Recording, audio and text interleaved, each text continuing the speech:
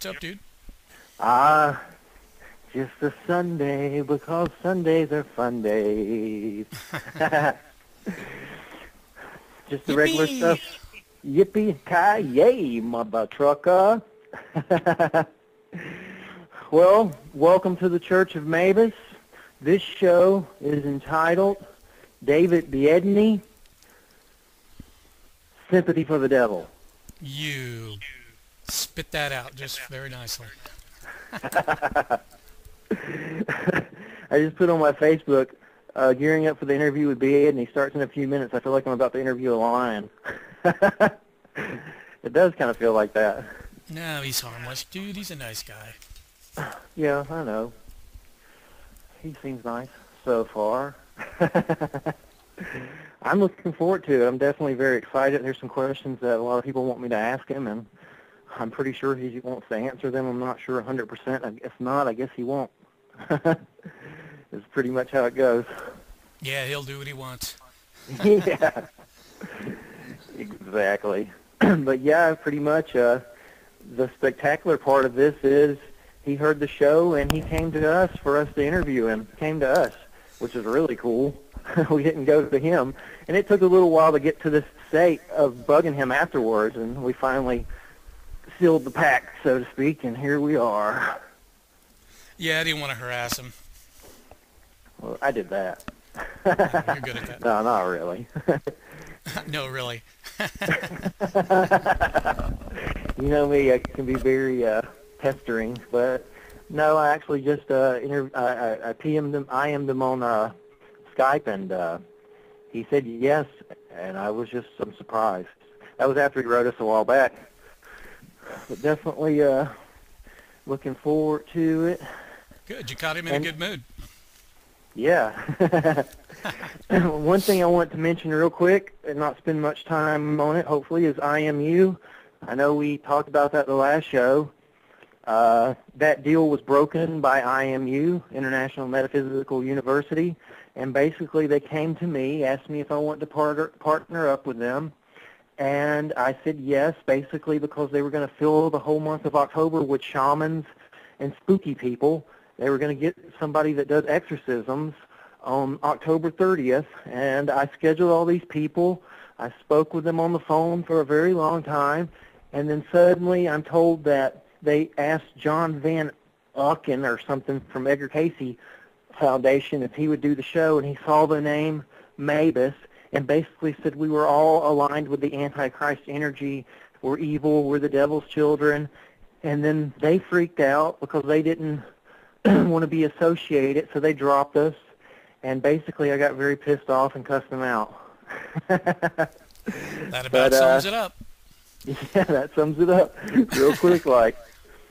And uh, the name Mabus, I just wanted to add, no one knows what that name means except Nostradamus when he wrote it. Penn Dude, and it's- Teller, huh? It's it's just a word. That's all it is, man. Just a word.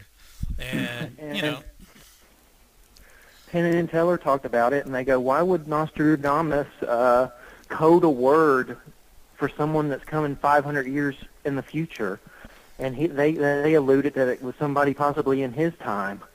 Yeah, And- dude. And, and listen, anybody who says that, you know, we're part, we're like evil and in league with the the Antichrist, you know, they're frauds. If they're afraid of a word, yeah, they're frauds. Plain and simple. Well, the whole Edgar Cayce Foundation thing, I used to have one of their books, and they claim that the sons of Belial battled the sons of light, you know, and that's why Atlantis died and all of that stuff. Blah blah blah blah. blah. End of the world, blah, blah, blah. Just a but bunch anyway, of shit somebody else made up. That's it, dude. They made it up. Exactly. and pretty much uh, what that's over with, so don't go there. so that's the end of that. I just saw him log on. Uh, we'll wait a few more minutes. And So how you feeling, man? I I'm feel like feeling crap. pretty good. Not bad. I'm looking forward to, uh, it's a busy day. Today we're doing David V- Viedney, uh, Tessa B. Dick, uh, Philip K. Dick's uh, last wife, uh, 3:30, and then I do Allison Burgess, MUFON. Uh oh, he's calling me. David Biedny's calling me, and I can't answer. I don't even have my things hooked up. All right, all right. Hold just chill Hold on. dude. I know, I'm gonna freak out. Stop it. Hold on. Hey. Just talk or something. La la la. La la la. You'll be live. I basically told him, can we call you now and you'll be live. Doing a pre-talk thingy. But can call you now and start if you like. Okay, he said, yeah, let's do it. Let's rock and roll with David Biedny. All right, I'll uh, I'll add him. That's what I'm talking about. Sympathy for the devil.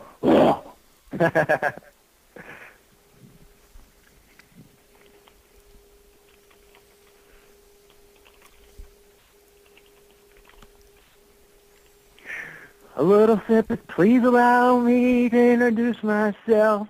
I'm a man of wealth and taste. You're better off listening to Guns N' Roses or Mick Jagger sing it than me. I'll go ahead and tell you. What Yeah, please stop.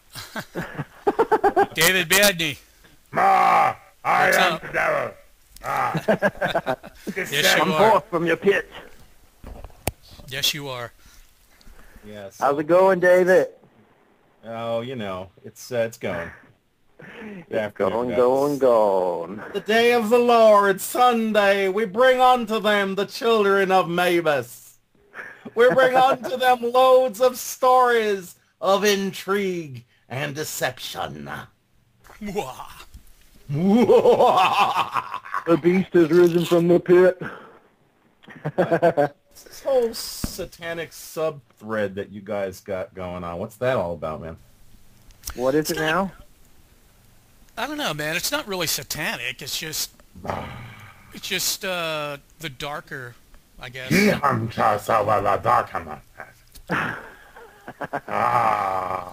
Really, really tired of the love and light people. So I guess it was a uh, just a big fuck you to those guys. yeah. Basically, David, when I was younger in my wild days after my dad died and I was experimenting with the occult and every drug possible, I came across the name Mabus and I was going to make a metal band that and that never worked out because I got clean. So I saw UFOs and I made a site about it instead. Okay. That sort of makes sense. I get it. Okay. All right. Nah, I, I, you know, I, uh, I went to those original Black Sabbath shows back when you know it was uh, Ozzy and the band with Tony Iommi playing with his thimbles on his fingertips, and uh, you know us shouting from the front row, "Do stuff from Technical Ecstasy," and they're like looking at us like, "Shut the fuck up." that sucks. Yeah, what That's a- cool. you know, you saw Black seriously, Sabbath in concert. That's awesome. Oh yeah, no, back in at, at a venue that is so long gone, a place called the Sportatorium out in uh in Fort Lauderdale. That's you know at one point was essentially torn down, and they built shitty cookie cutter condos out there. But uh, yeah, I got tear gassed at a Rush concert. Uh, oh man, not not pretty. Yeah, out at the Sportatorium. A lot of Sportatorium stories, man. Yeah. Anyway, but that's not what that's not what we're, we we could certainly talk all about the uh, the, the, the the the craziness of rock and roll in the early '80s. Man, that was uh, it was a wacky time. yeah, that was pretty crazy. so, Anyway. uh, what have you been doing, dude? Uh, I've been like uh like uh I've been like uh checking out like uh stuff and everything. Uh, Like, whatever. yeah, yeah, yeah, yeah, yeah. Uh, I've been like, uh, like, uh, checking out like Cornelio. Hmm. Sorry. the hell was that? What? Uh, I'm, I'm, I've, been, I've been getting ready to come on your show. What are you talking about? I've been prepping for months. Oh yeah.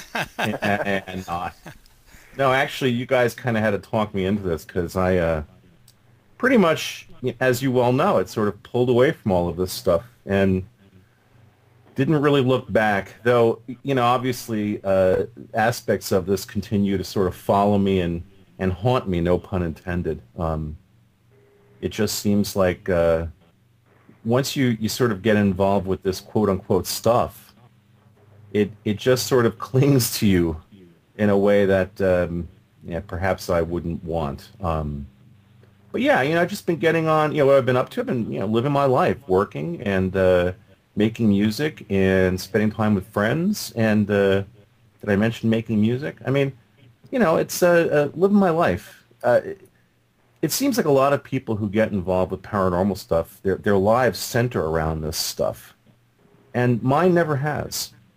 So uh, you know, it uh, this is I've had time to read stuff outside of the paranormal book world. It's been really kind of good for the last four years. I've been reading like a book a week about paranormal stuff. That will definitely mess with your mind. Uh, you know, and not in good ways either. Yeah, so. I do that too. I keep uh, I keep all that like at an arm's length. You know, I try not to get too involved with the people and that sort of thing because it uh, you know, it drive you crazy. Mm-hmm. And you know the obvious issues of then uh, having friends that are involved in this stuff, and um, you know a lot of people. Another thing, a lot of people who get involved with this goofiness, their lives center around it in a way that you know most of their friends are people involved with this stuff. None of my really really close friends um, have any real interest in the paranormal. Um, and for some of them, it, you know, when the Paracast started, uh, some of them were just sort of surprised. They're like, "What the hell is this? You know, why are you why are you getting involved with this?" And at that point, I was like, "Well, uh, listen listen in on the show, and you'll find out a little bit about why I'm involved with this." And you know, for some of my friends, they were not. I, I won't say they were thrilled with it, but they were sort of nonchalant about it. Oh, you know, David has a bizarre life here's another aspect of it. Um, for some of them, it was definitely a little uncomfortable. They, you know, were, uh, you know, people get taken aback by this stuff. Because I mean, why would they? Why would they care, David? I mean, really? I mean, well, because there, there's this thing. Uh, uh, you, you know, you're very often judged by the people you keep company with, which is a, a real interesting and important theme in discussing, let's say, you know, the paranormal. Um, in that uh, once you are in any way associated with this. And, you know, like you guys, I've kind of gone out here with my real name. And I'm talking about this stuff not under some pseudonym or handle or some cover of anonymity.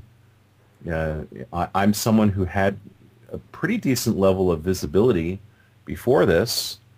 And, uh, you know, after having gotten involved in this stuff, it, it definitely and this, you know, sort of ties into why I pulled away from this stuff. It was starting to have a negative effect on my professional career, and and you know that thank thank thank Google for that. I mean, it's kind of it's sort of sad to go into Google, type my name in, and see what comes up. The very first hit is my psychopath stalker from Prague. Uh, you know, who who's who's got some headline about I threatened his life. I mean yeah, it doesn't mention that he's a, a delusional lunatic. Um, and when people see that, the first hit that comes up on a Google search of my name, it's a problem because they all they see is the headline and this kind of crazy, psychotic-looking guy in this video. Not me, my stalker. Uh, and you know, at, at that point, it doesn't really matter what the specifics are. At that point, you don't want to have to say, "Well, oh, gee, that's my stalker." in in Europe who put that up, and it's nonsense. Well, the minute you say I have a stalker in Europe, they're like, huh? You know, besides the fact, God forbid, you should actually want to go on a date with somebody, and you know, girl types your name into a search engine, that comes up. It makes for an interesting conversation. yeah, that guy's lucid. I'm not going to say his name. Um, you know, I think we're interviewing him uh, soon. I'm going to try to talk him out and to uh, talk him into put taking it down good luck, man. Um, you know, he's well, he's he's mentally ill, and apparently comes from a family where mentally mental illness runs in the family. It's hereditary. So this is a guy who uh, who's got some real serious delusional issues, and you know that pr- I've just summed up what seventy percent of the paranormal field. People yeah. who are who are just kind of like out of their minds, and, and this is the one place apparently, well, not the only place, but it's one of the places where they can get in the sandbox half naked, drooling and covered in blood, and nobody's going to say, hey, dude, you know, go get some help. Uh, because everybody, not every, I shouldn't say everybody, but a, a, vast majority, defined as 51% or more of people who are involved in the quote-unquote field, I think are people that have some uh, some real issues. And and obviously there's a large contingent of people out there that would point to me and say, yeah, and you're you're among that group. So you know, um, and who knows? Maybe they're right. Maybe I'm I've got some mental problems for having allowed my name to become associated with this stuff. Perhaps. No, you just, uh, you know, you had a show. You're trying to find answers, trying to um, um, give shows based in fact and not bullshit. You know, and uh, you fucking lost your mind after a while. Maybe I lost my mind to begin with, um, uh, but no. I, what I did, what what did happen was I lost my patience. I lost right. my patience with uh, dealing with with people who were, you know, clearly either making stuff up or like I said, uh, people who would pretty much do anything for attention. And I think it's really important to get that out on the table. You know, a lot of people will, will say, well, you know, why would anybody invent, let's say, a, a tall tale about interacting with aliens or receiving messages from non-human entities? You know, th- there's this idea that if there's no profit motive, why would anybody do it? And it's real clear. I mean, people want attention. They will do anything. Some people will do anything for attention. You turn on Jerry Springer, watch. Yeah, the, people will, will, will, will just absolutely dep- just be depraved and insane on air uh, for their 10 or 15 minutes. And, and, and this is something that I think is indicative of a, of a deeper problem in our, in our culture, quite frankly. But there it is. I mean, people will do that. And I know that, um, you know, you look at the God, the UFO field. Just uh, well, I know that you guys, and uh, I think Guy, you in particular, are uh, involved or fascinated with the Stan Romanek case, for example. Um, Correct. All right, so uh, it's one of these things where, having interviewed Stan, ha- having done the work to find out behind the scenes, like who was squelching this guy, and to my knowledge, the Paracast was the first place that divulged the name Clay Roberts. I don't think anybody would bring up that name until we talked about it on air. Yeah, that's where I heard it. And, um, and you know, and I, I talked to this guy Clay, and, and it was obvious that this was just the whole thing t- from from my point of view. And it's just an opinion, all right. Um, but I've seen some of the quote unquote Romanek uh, material, and I also did some digging behind the scenes. And what I came up with was that this was a guy who basically was desperately looking for some attention and uh, was able to, conco- I think, concoct this story that's just a bunch of crap. Um, you know, the ev- and, and really what it comes down to, it's real simple. It's like if you have these stories that you're telling, then you, you got to kind of have two things. You have to have consistency. Um, actually, three things. Consistency of story. Uh, be really nice to have witnesses, co-witnesses, and some kind of evidence. And I fully understand the problems with things like photographic evidence, um, you know, I have lots of opinions about that topic, but basically, from what I've been able to see uh, in the time that I looked into the case, uh, Romanek was very quick to say that he had lots of co-witnesses. He couldn't come up with a single one. There was no, there was, uh, you know, no signed affidavit from somebody saying, yes, I saw this with Stan. Um, as I started doing research behind the scenes into the supposed analyst looking at the video footage, well, it turns out it was this guy. Um, I don't have his name in front of me, but I spoke to the guy on the phone, and he basically is a Final Cut teacher at some college, I think in Colorado. Um, I asked the guy, "What's your what's your background in visual effects?" He didn't have one.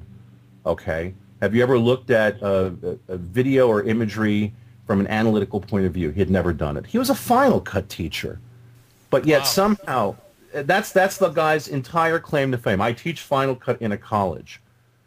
And that was the guy that said, "Oh, I think this footage was really interesting." Okay, so what did your what did your analysis yield? Well, it's really interesting, but inconclusive.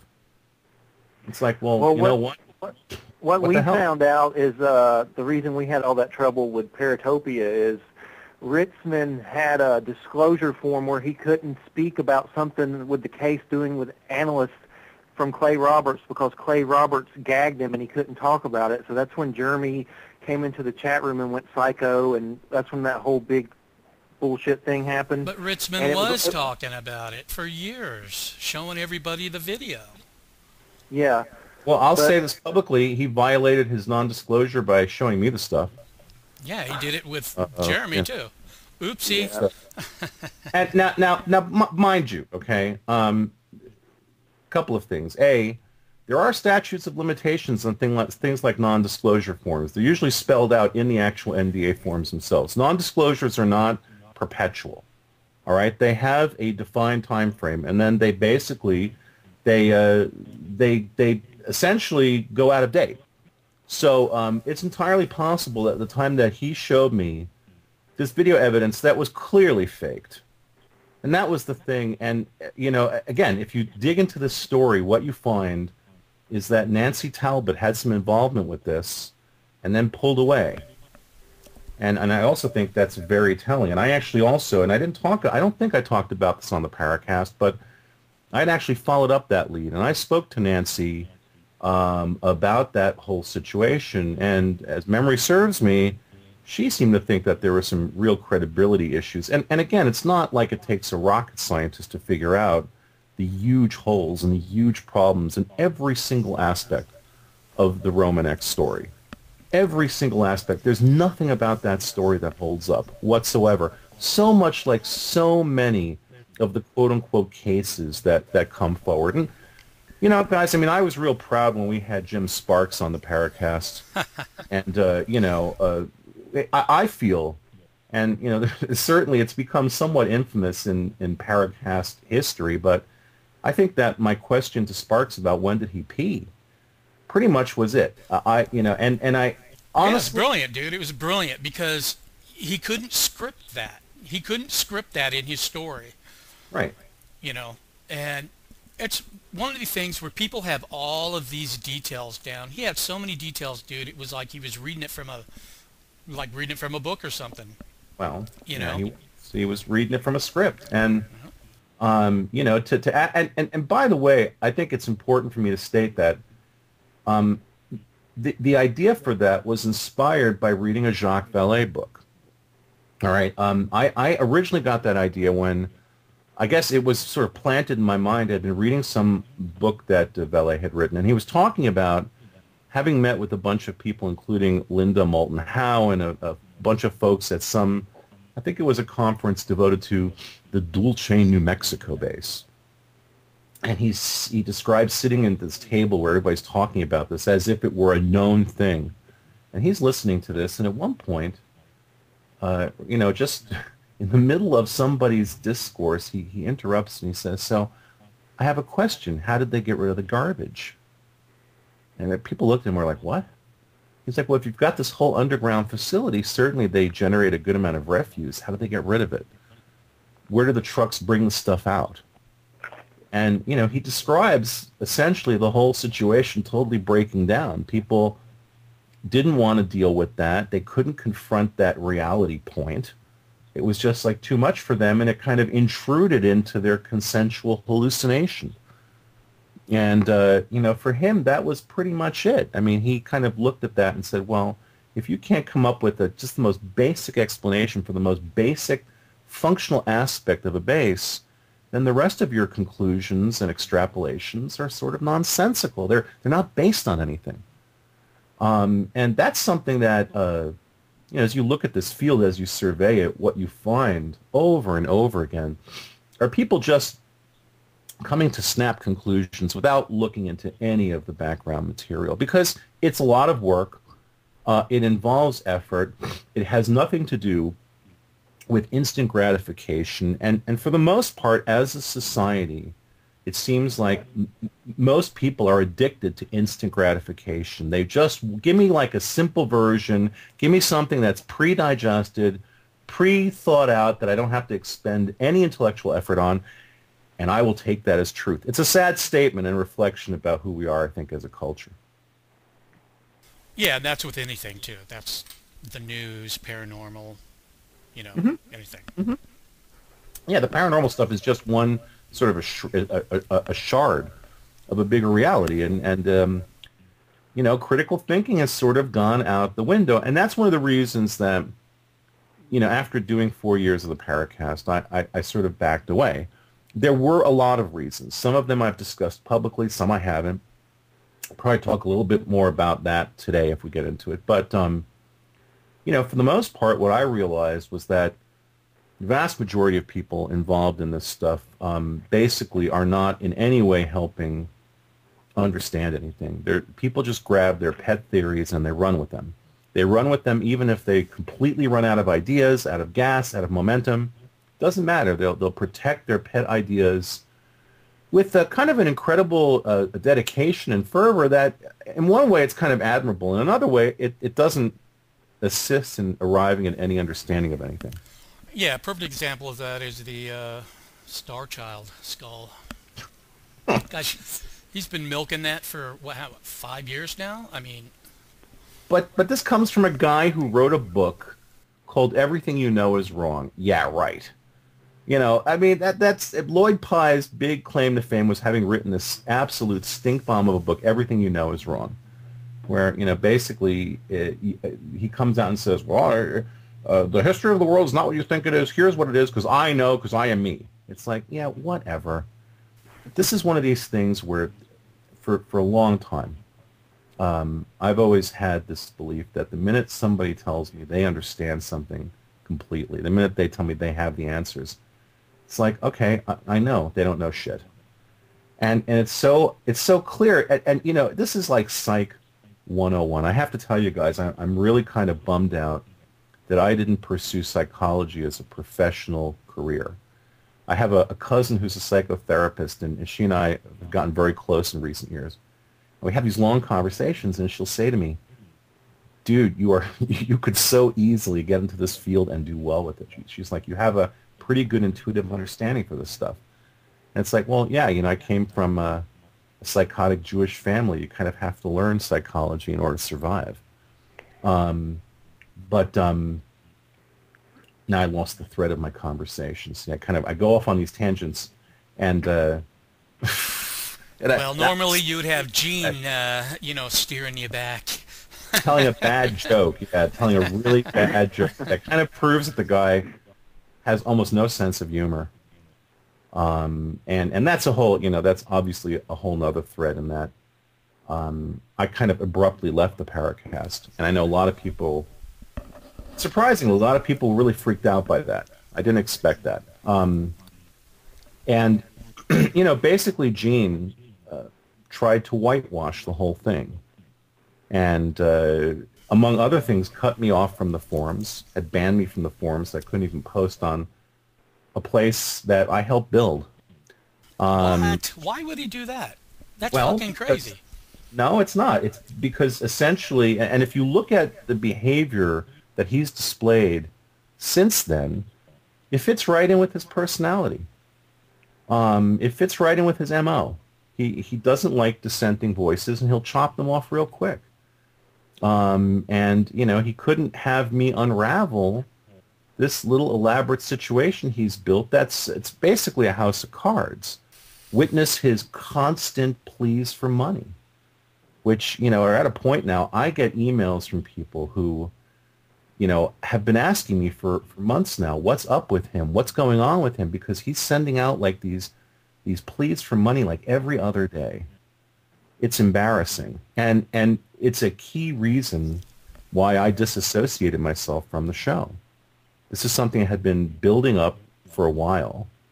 Um, you know, there was this behind-the-scenes stuff that people don't know about where we were getting guests coming on the show and Gene would be hitting them up for loans like after interviews, he would start to like say to people, "Could wow. you like, a, uh, got the situation," and he he's got these elaborate stories about these family financial woes that as you start to pry into them, you know, because like you know, I was dealing with the guy very closely for four years, and early on he was hitting me up for money, and I said, "Gene, I'm sorry, I, I can't help you here."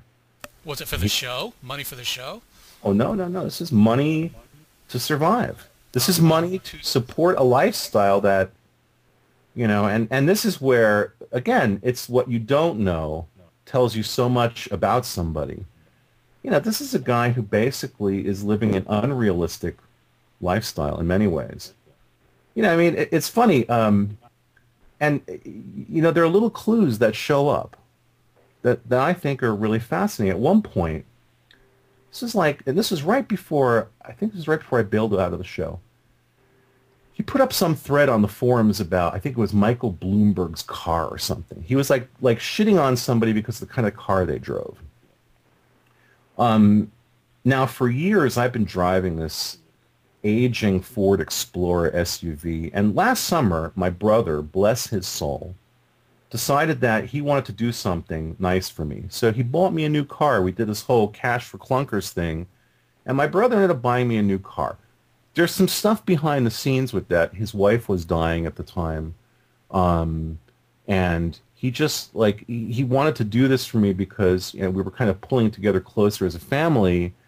Um, and this was something he offered me. I, I, was like really shocked. But anyway, he went and bought me this, and not like anything elaborate. He got me this really nice little car. Um, and bless his soul for that. It's like, you know, this is like one of the nicest, right up there with one of the nicest things anyone's ever done for me. Uh, it's probably like the nicest single thing anyone's ever done for me, and, and I love him to death for that. So Gene knew about this, um, and he knew it wasn't like, like I said, it was like a, a low-end uh, a, a, car, not something elaborate or anything. Um, but he knew that I had just gotten a new car. And like, again, he attacked somebody, I forget, I think it was like Bloomberg or something about the car they drove. So I'd never talked about cars with Gene, right? So I said to him, oh, well, what kind of wheels do you drive? And he says to me, oh, I, I lease a BMW. I was like, what? I would just, I, because I knew he had all these financial problems and everything. He's like telling me he lives in Scottsdale. BMW. For Christ's well, sakes. Yeah, well, you know, okay. So he tells me he leases a BMW, and I'm like, you're leasing a car? And it's a BMW? Now, look, again, um, you know, this people might hear us and go, well, this is kind of a minor issue. Why are you even bringing this up? Again, I think it says a lot about somebody who's, you know, so you have somebody who's screaming that they've got financial problems and they drive a BMW. There's a disconnect there. It doesn't really, you know, it, it, you you look at that and you go, something doesn't quite smell right there. You know, there was another time that he said to me that, you know, basically he and his wife eat out every meal. They don't cook in the house at all. Now, guys, you know, um, I'm a single person. It's just me. I live alone. Um, but I'm a freelancer. I'm a struggling freelancer. You know, any, and especially now, you know, not working full time for a company, it's a challenge to survive. I mean, you know, this is the real test, I think, of someone's mettle. If you can kind of get by in these times as a freelance entity and not end up on the street, I think you're doing okay. Um, you know, that's my stance with things, and I haven't asked anybody for any kind of financial assistance in my entire adult life. I don't, I don't believe in living that way. So, you know, I'll state right up front, I'm very self-sufficient. I'm very independent. I've always been that way. I'm somebody who left my house when I was 16 years old. I was off on my own at 16. Um, so I'm a big believer in that. Um, and uh, I cook for myself all the time because I know damn well that anybody who eats out every meal is spending a ridiculous amount of money on food. It's just, it's untenable. It's just kind of crazy. And that's the point. It's kind of crazy. And, you know, and there's Gene, you know, who's begging for money out of one side of his mouth and living a kind of a wacky lifestyle that I don't begin to understand on the other side of his reality. The two don't reconcile. And and the thing is, okay, I have no problems with that. In essence, you you, you know, I th- I'm a big believer in personal freedom. I think everybody should live exactly the way they want to. That's fine. But when you're hitting up guests from loans, when you're sending out pleas for money without okaying them with me, and you're sending them out on Paracast like letterhead, I had problems with that. And and as this started escalating, I started to tell Gene, hey, you've got to really tone this down. This does not reflect well on us. Because, you know, I think that we tried to work very hard on the Paracast to build up a sense of credibility. And you know, people want to debate that, or, you know, you guys put me forward as the devil uh, or Darth Vader. Uh, uh, uh, dude, it's just your it's just your fucking code name, man. So I can say Vader called me and yelled at me about the sound quality and I've had you know got so the music people, going in the background. I've had so many people come up to me and say, "Don't go down the Biedny Highway." Like you're like the, the the symbolic Darth Vader. Not saying I agree with it, but I was playing off of those words from other people saying that. They're like, Man. don't go down that highway. Yeah, because I'm just so Darth fucking. Vader highway. Oh man, you know it's kind of hysterical because you know my my closest oldest friends, uh, you know they hear stuff like you know I'll tell them about stuff like that and they'll just fucking die laughing. They're like, really, seriously? It's What fuck? hilarious. You can just totally tell they didn't listen to the show and they just heard what somebody said. Oh, did you hear what David said? He fucking said this. He was like Howard Stern or some shit, dude. You know? Oh man, if only I had that kind of financial success. You know, um, yeah. well the, the thing is that uh, we live in such a politically correct society. You know, the minute you actually are not on the extreme right of the equation and you have a strong opinion about something, you're attacked for it. I say fuck that, man. I've always had strong opinions about things. That's just who I am. Um, usually I try to offer opinions about things that I have some knowledge about. You know, I'm not the kind of person you want to ask my opinion about fashion because I don't know fuck all about fashion. I wear fucking black t-shirts and jeans. it's like, Yeah. don't ask me about what looks good because I don't fucking know. Um, but you want to ask me about, you know, cool synthesizers. I can talk all day about that stuff because I grew up with that shit, and that, you know, that's my, that's one of my core obsessions. So I'll offer opinions about things that, you know, I tend to know something about.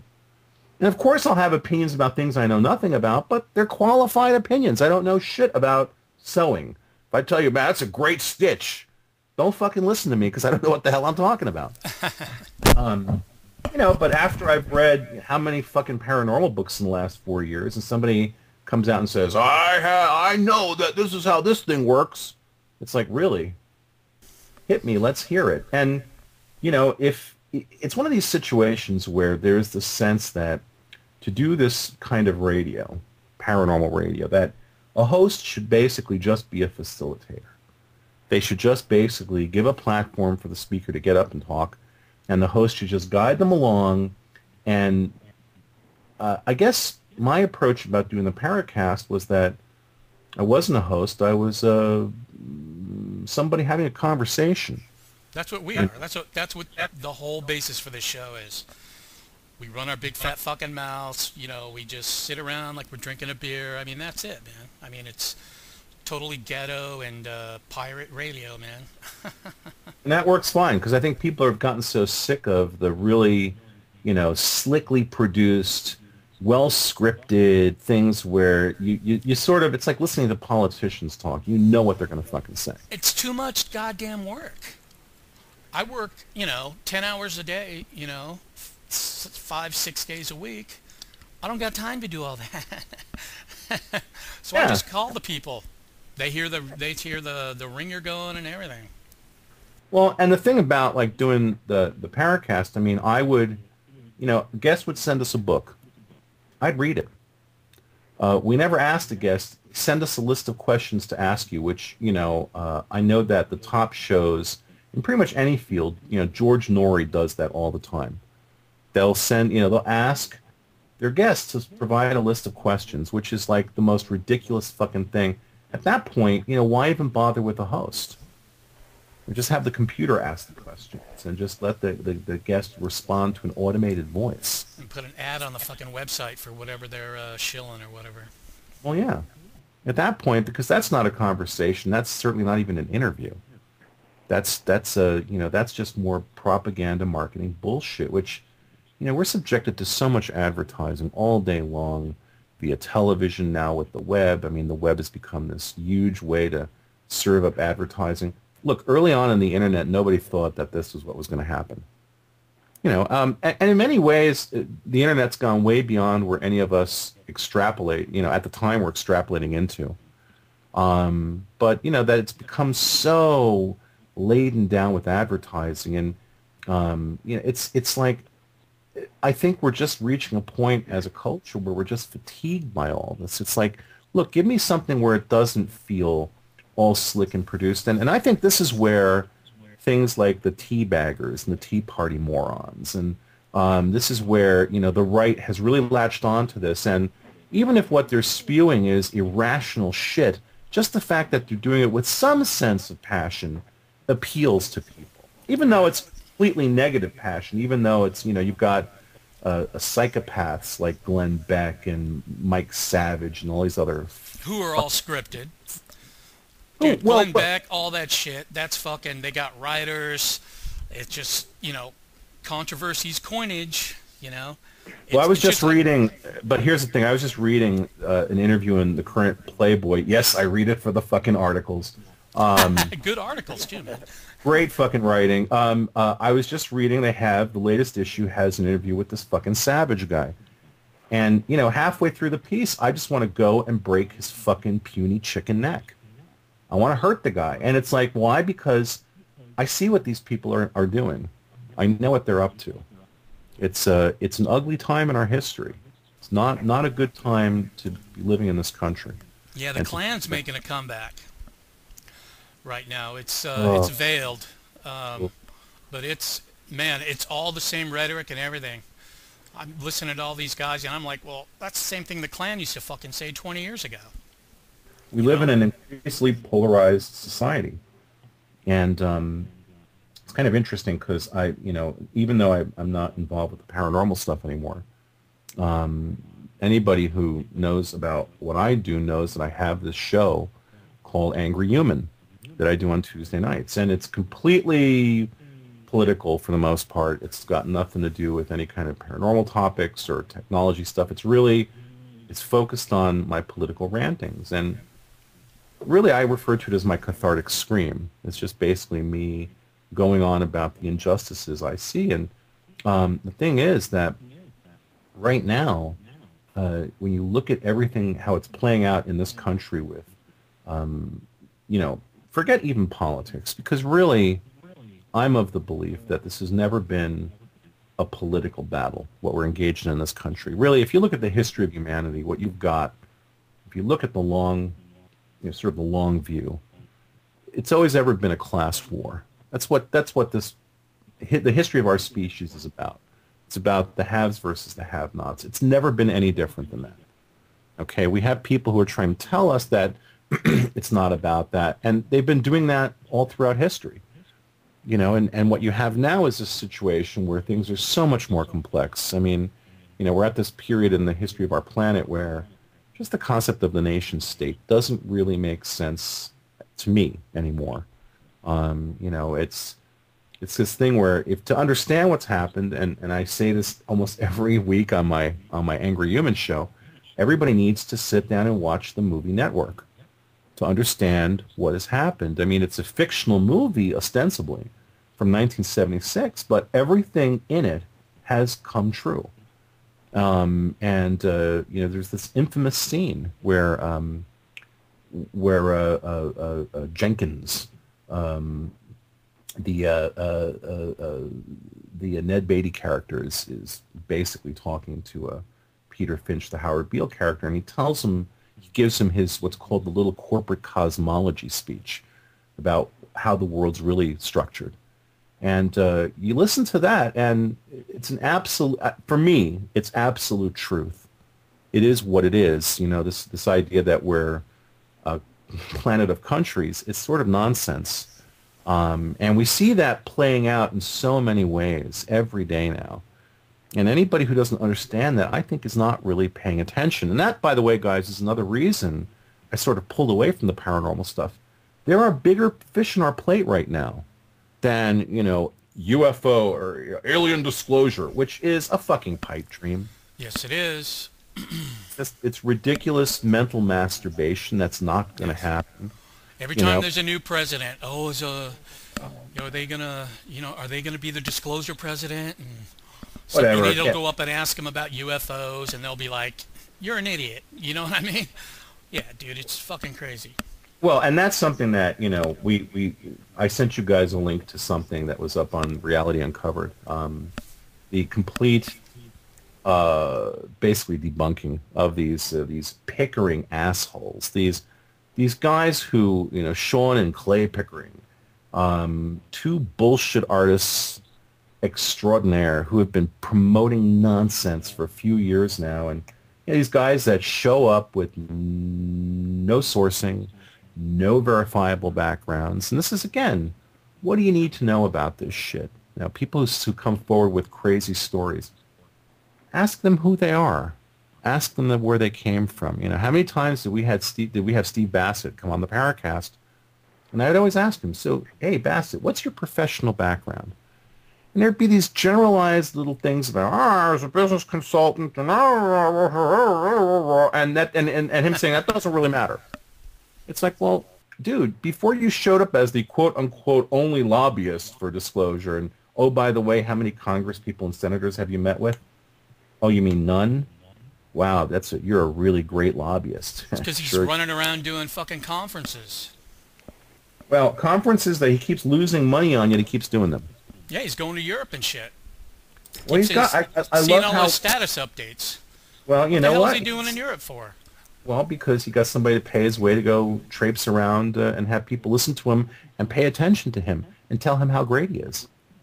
When he's done squat, what has he done? He's given fuckheads like Peckman um, a platform.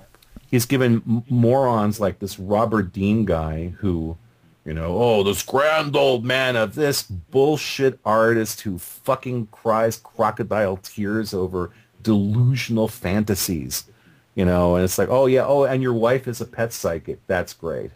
it's like that's the thing about this guy Bob Dean, another one of the exocranial morons. And, Your you know, dog like, wants to know where the fucking food's at. Yeah, where's where's my bone? Where's my bone? Fuck you, give me my bone. Um, and that's you know, you look at these exopolitical people, and what do you have? You look at this lineup. You know, Alfred Webre fucking lunatic. I mean, look at the videos. The the Camelot Project videos of this guy talking. Uh, I don't have to be a trained psych, uh, psych professional to know he's fucking crazy.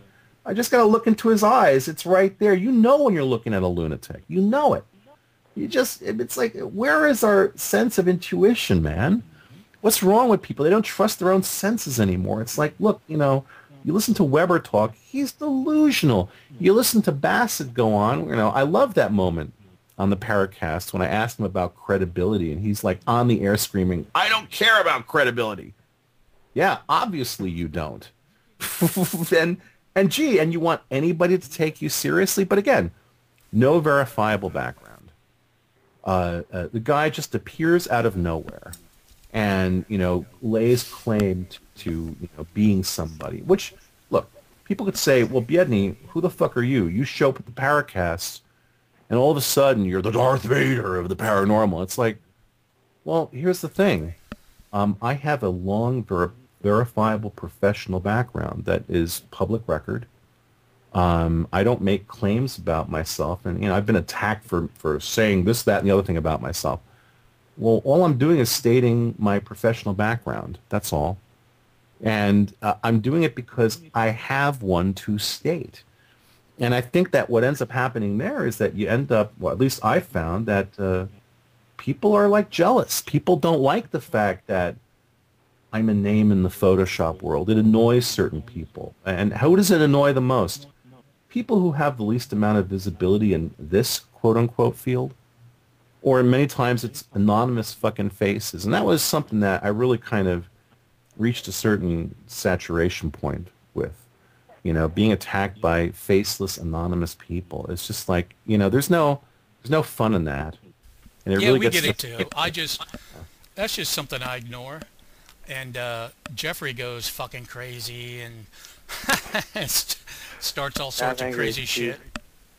God damn it, he pissed me off. And I said, fucking Jeffrey, this isn't the goddamn Springer show. well, and you got to look at the source, right? I mean, and that's the thing. It's like, you know, after my falling out with the Paratopia guys, they went on for like a year and a half, just constantly trashing me on the air. I mean, it was like nuts. And I, you know, if anybody listens to the Paracast knows that I never once mentioned their names. Didn't write about them on the forums. Maybe once or twice I might have put one or two things, but pretty much ignored them. And the more I ignored them, the more, the nuttier they got to the point where there was this one show where apparently at the beginning of it, they did this. Um, they had this kind of mock killing of me, where they like mm. they assassinate me at the beginning of some show.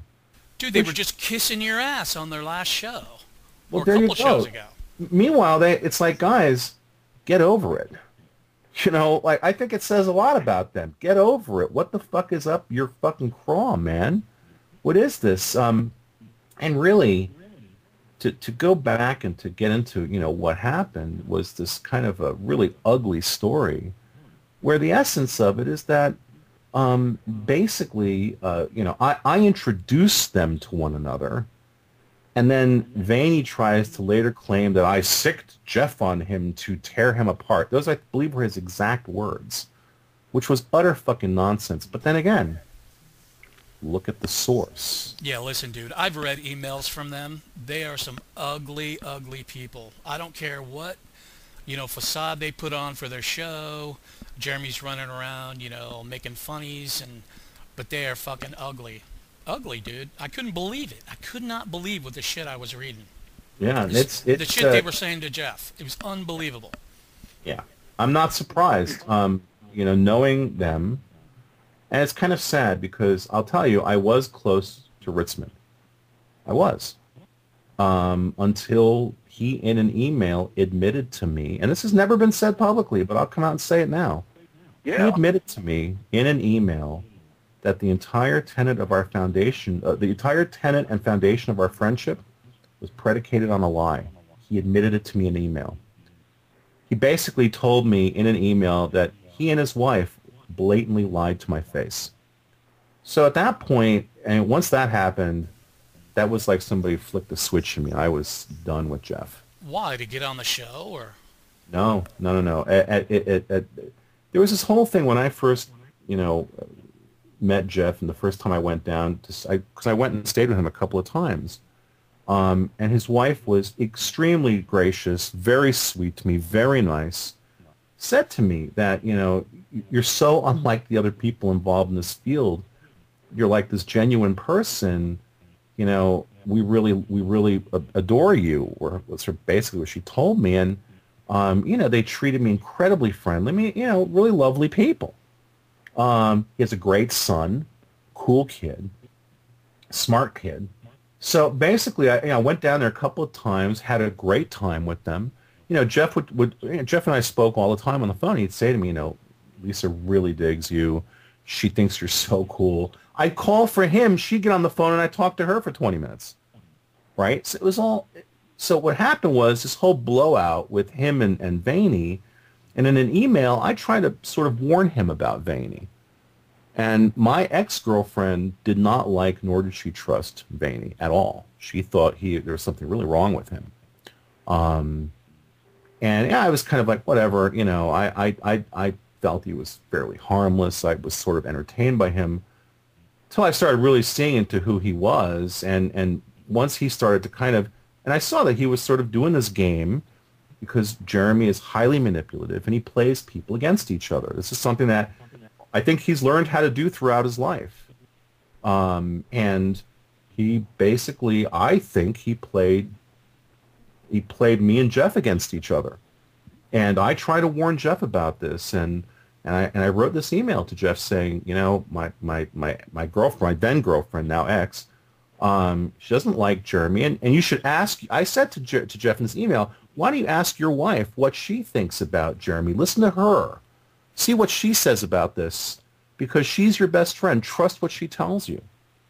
And his response to me in this email was, well, gee, that's interesting you write that because Lisa never, Lisa always felt that way about you. She never trusted nor did she like you. And I was like, what the fuck is that? Because again, this was, uh, I had been in their home uh, she had told me many times, "You're so cool. We really like you. I really like you." Um, he Jeff went out of his way to say this to me, how much she liked me. And you know, why would you tell me this, huh? Sounds like you're trying to get you in a threesome. no, no, no. Seriously, I mean, you know, honestly, the the thing was when I, you know, when I when I he wrote this to me, and I wrote him back saying, "Well, you know, I don't understand. What what are you talking about? Why would you say this to me? Why did she tell me she liked me?" Why did you go out of your way to tell me how much you liked me? And his response was, oh, we didn't want, you know, we didn't want to hurt your feelings. Basically, oh, so you lied to me about the base. I mean, you're sitting here telling me how much your wife digs me, and, and, and, and you're telling me this whole thing, and now you're telling me it's a fucking lie. The whole thing is fabricated. So they had you go down there twice or whatever, so you wouldn't hurt your feelings. I guess so. I mean, I call bullshit on the whole thing. Really, what it, what it, and again, here's the bottom line. The bottom line is that it, it taught me that Jeff is not somebody I can trust. Uh, he, he was, if you're willing to lie to somebody about something that basic and, and core, I mean, it's, it's part of the foundation of our friendship. You know, and Jeff told me on the phone and in person, he's like, you're the brother I never had. I mean, we were really close. And so to then do that is like just a complete, it's a complete betrayal. I, I just don't see how it can be any more complete than that. And, you know, and then to go on the show and just constantly attack me because these guys, again, they're constantly attacking me on their show. It's a, you know, and on their forums. And it's like, that says so much about them. And again, like I said, this is the first time I'm really talking about this publicly um, in a year and a half. I haven't really talked about them or this at all. But it, you know, it really, in the case of Vaeni, it was pretty obvious who he was. You know, and, and with, you know, his stance, his stance and claims about his experiences it's like, dude, show me one co-witness. Show me somebody who'll back up any of your bullshit. And from what I can tell, he hasn't been able to find anybody to back up any of his stories. His own parents don't believe him. So, you know what? That tells me a lot about him and what he says. This is a guy, and, and look, again, to, to, to learn about Jeremy, to spend any time around him, is to quickly figure out who this guy is. It's not rocket science. It really isn't. You know, he's a guy who got involved in the entertainment field for, because he's desperate for attention. You know, uh, you know somebody's desperate for attention when on their documentary they make about themselves, they have a scene in there where they get naked and have to shove their ugly bare ass in the camera. And he does that on his documentary. He takes a bath with a black lady or some big black lady. Yeah, yeah, yeah. you very know, disappointing well, you know, it is what it is. To to put that on, you know, uh, on on on tape and to, to fold that into your documentary, it's, it's I think it's a pretty clear statement about how he sees himself and who he is. It's like he'll yeah, do whole, anything for the attention. The whole time I was like, where are the UFOs at in this thing? There's like nothing. There's nothing. Very Basically, strange. it's it, it's a desperate call for attention. This is who he is. This is what he does and he'll do anything for that attention, anything at all. All right, well, that's yeah. There, a, a, lot of thing with those two too, dude, is they were living in your guys' shadow. They were the entire Whatever. run of the Paratopia. They were living in the Paracast shadow. You know, here's the thing, and again, uh, I'll pay tribute to Jeff where where it's appropriate. I mean, Jeff had had a long involvement with this stuff. He had been highly visible in it for for a long time. Um, he spent a lot of his life looking into this shit.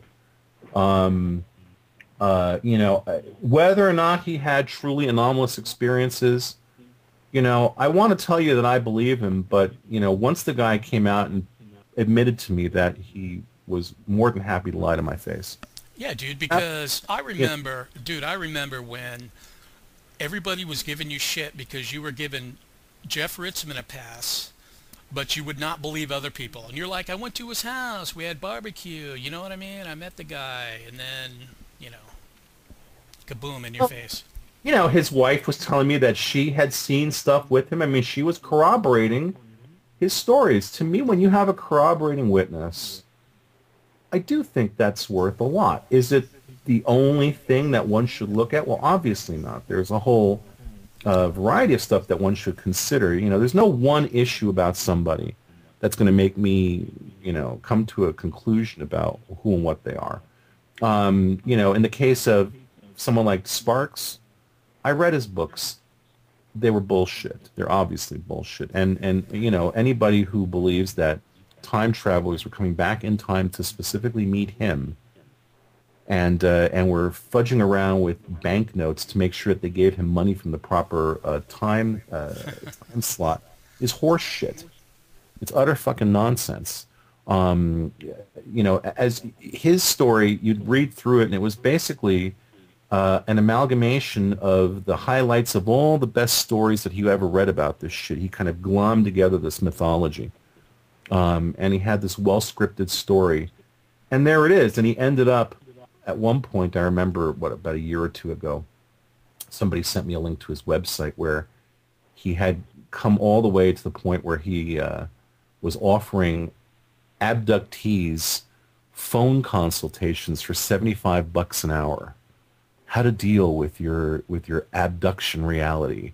You could talk to Jim Sparks for 75 bucks an hour and he would console you. Just utter horse shit. Um, you know, Jeff didn't have any of that kind of stuff going on. Um, he had a lot of descriptions of experiences that I found really interesting. Um, but like I said, now given you know what happened between us personally, do I believe what he said? I'm on the fence now. You know, once someone indicates to you that they're willing to blatantly lie about something, you have to you'd be you'd be a fool not to question everything that came out of their mouths after that. You know, I mean that's just that's just common sense. That's all. And then the whole story about the alien and the sheet that he he talks to or something. That was pretty I bizarre. Don't, see, I don't know that story. I, I have not listened to much. You, know, if if they attacked me on a show, somebody would invariably, you know, a lot of people listen to Paratopia and would listen to the Paracast. So if they would say something about me specifically, I would invariably get like a piece of email about it. You know, do I? I mean, do I spend my time listening to these kind of shows? Honestly, not really. I'll Yeah, listen to, either. you know, if, if there's someone interesting that I'd like to hear another angle on, I'll listen to some of an interview. You know, the problem is I've heard most of what the top speakers have to say. I mean, once you've spoken to Stan Friedman once, you sort of knew, know what his shtick is. You know, and he's a, a highly respectable, highly, you know, intelligent man who, uh, you know, has a vested interest in promoting a certain theory or set of theories. Uh, and he's he's honest about doing this because he likes being a center of attention. He likes the sound of his own voice, uh, and he likes the visibility. So you know, he's at least Stan is like totally upfront about that stuff. You know, he'll tell you who he is. Yeah, but he Um, writes he writes pretty decent stuff. You know what I mean? It's not like he's Jim Sparks, you know, Well- or something.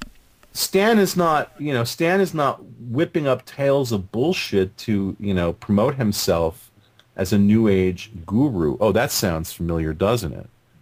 Gee, who else talks about uh, strange energies going through their bodies and synchronicities and uh, oh yeah, uh, that would be a some some paratopia host. Oh yeah.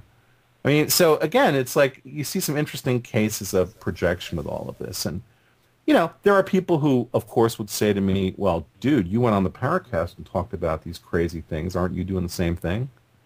And it's like, well, you know what? Um, I had co-witnesses who came on the show with their real names and who corroborated my stories. Show me, really honestly, um, in either Jeff or Jeremy's case, show me their co-witnesses who go on the record because again, if you want to make statements about these things, you know, uh, Romanek goes on and on about his stuff. Where are the co-witnesses that aren't family? Let's see them. Let's hear them. Let's see their signed affidavits. Let's go. They invited know, me um, to their house with my fiance, but I, I don't have money, so I'm not going. But not to say that makes it real, old, but I thought it was kind of weird on their part. As they're Listen, like, "Come I- over and have barbecue, and I'll show I you don't- the evidence." I don't really know Stan just from the interview. His wife Lisa's a really nice lady. You know, she's She is. you know, yeah, she is. She's uh, just a really nice person. But listen, you know, I don't get the whole um, Romanek. Why it's even uh, why it's even out there. I mean, they did all these publicity stunts. Alien in the window. Next thing you know, some lunatics on fucking Letterman, and it's just it just ruins the whole thing right there. Well, Any- the whole Peckman Association is so Yeah, f- yeah. up. I mean, and again, you know, what did it take? Five seconds to to find the Metatron harmonizer? Peckman, another guy, no verifiable background, no provenance, all sorts of bullshit, and flowery talk about Space Brothers here to save us. We're done. You know, if at that point people want to engage this bullshit, I say let them. Look, I realize that there's an entire contingent of people that look at this material as entertainment. I get that part. All right, I get the part that, you know, uh, uh, Jeremy and Jeff started their thing with the idea that they were going to interject a comedy into this because uh, Vaeni is a failed comedian. But Jeff's so, not funny. Well, uh, you know, it would, it would, I'm not going to. Well, you know what? Of the two, Jeremy's the one that thinks he's a comedic genius. So, you know, I'll, I'll, I'll eh, look when it, it, there's um there's a saying in Spanish that goes entre gustos y colores no no han escrito los autores, which means of tastes and colors authors should not write. So you know, people want to want to find Jeremy funny. You know, let him ha- have at it. Um, I think that his material speaks for itself. Um, but the point I want to make with all of this is that I fully understand that the majority of people who are even vaguely interested in this stuff are, are interested in it almost exclusively from kind of a what I would deem a gratuitous entertainment angle. You know, this is just yet another channel on the 500 channel cable box that they can come in, be voyeuristic for a little while and leave and go, oh, gee, that's so cool, that's so crazy, I wish I could see one of these things, blah, blah, blah. All right, that's one level of interaction with this shit.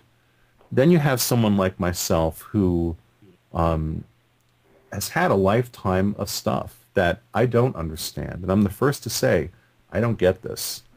I offer no explanations for what I've seen, what I've experienced. I've only spoken, for the most part, about the stuff where I have co-witnesses you know, there were two things I talked about on the show. Actually, there were three things I talked about where I don't have co-witnesses. And, you know, if people want to have problems with those things, I, I talked about uh, a UFO encounter with uh, something that followed us home and hovered over my house. Um, my brother was pretty young. He doesn't have a clear memory of it. He has somewhat of a memory of it, but not a clear memory. So um, I didn't want to bring him on the show where he had a very clear memory of the episode in Venezuela. Um, that was a major one. But, um, you know, uh, the stuff that I've talked about on the show is, for, like I said, the most part, only stuff where I had a co-witness.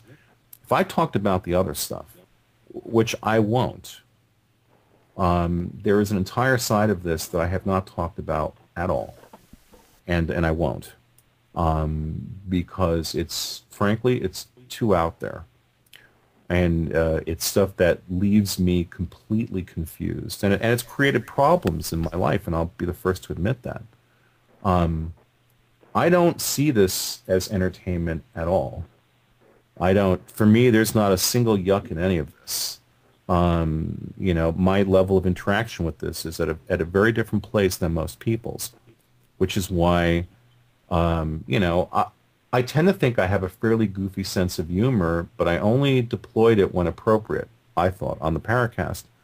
Um, for the most part, I try to be pretty serious about this stuff. And I think that um, a lot of people will mistake that seriousness for pompousness, or that seriousness for like pompousness or an attitude.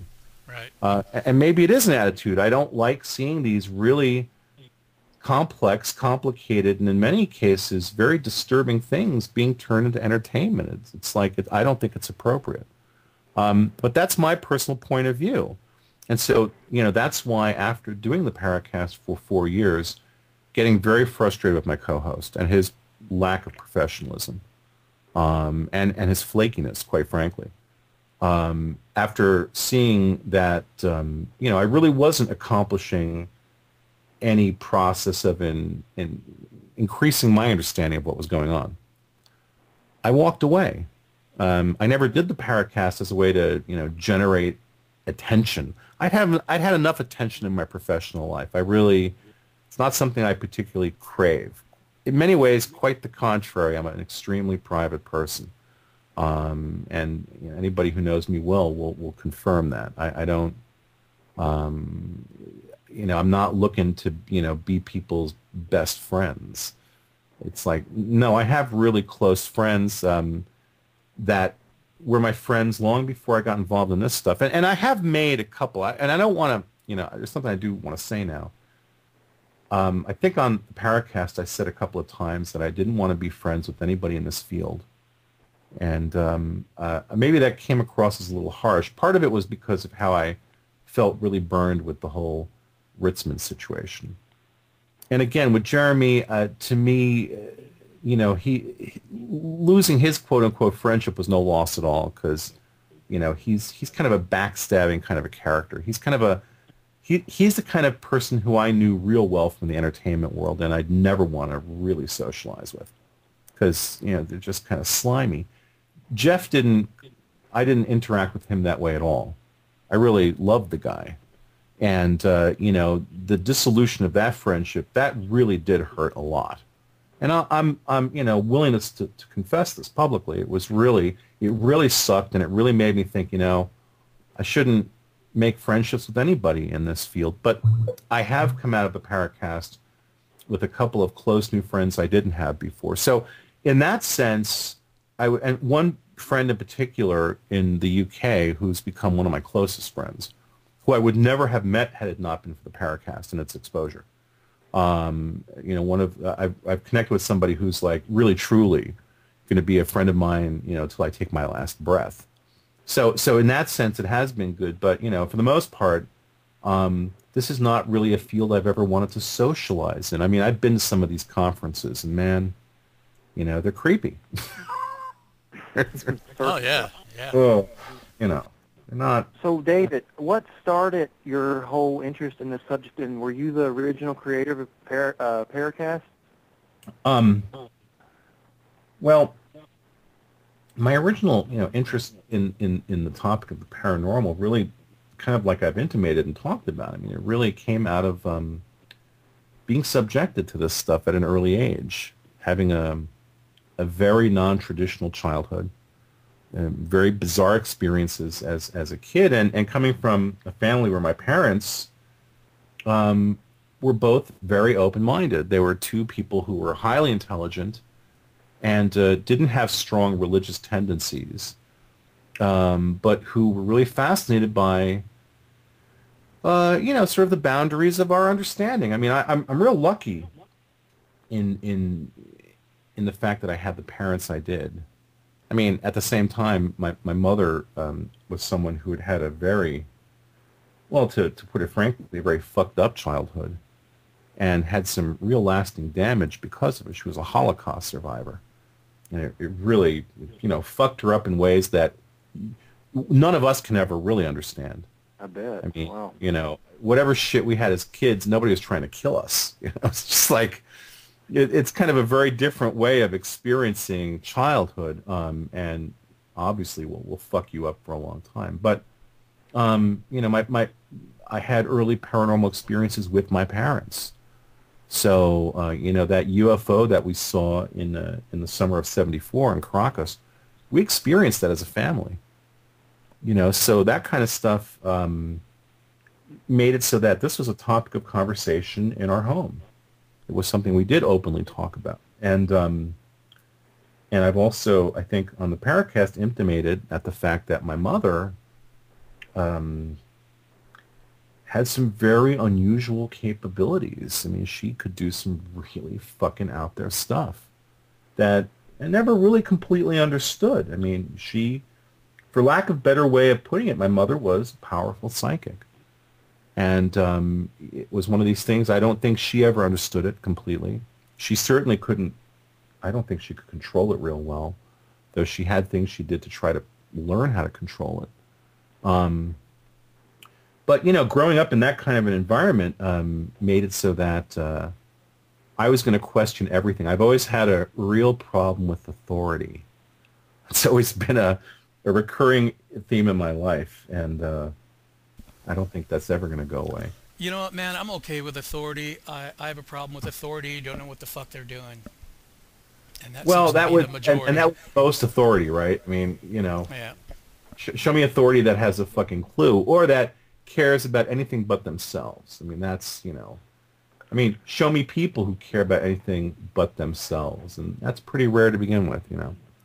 Um, as, as, as far as the Paracast, just to, to address that, the second part of that question, um, I had been doing some stuff on Gene's Tech Show, and we ended up having this conversation one day about, um, I'm not even clear about exactly how the conversation came up, but he, he we were talking about something regard, related to Tekken.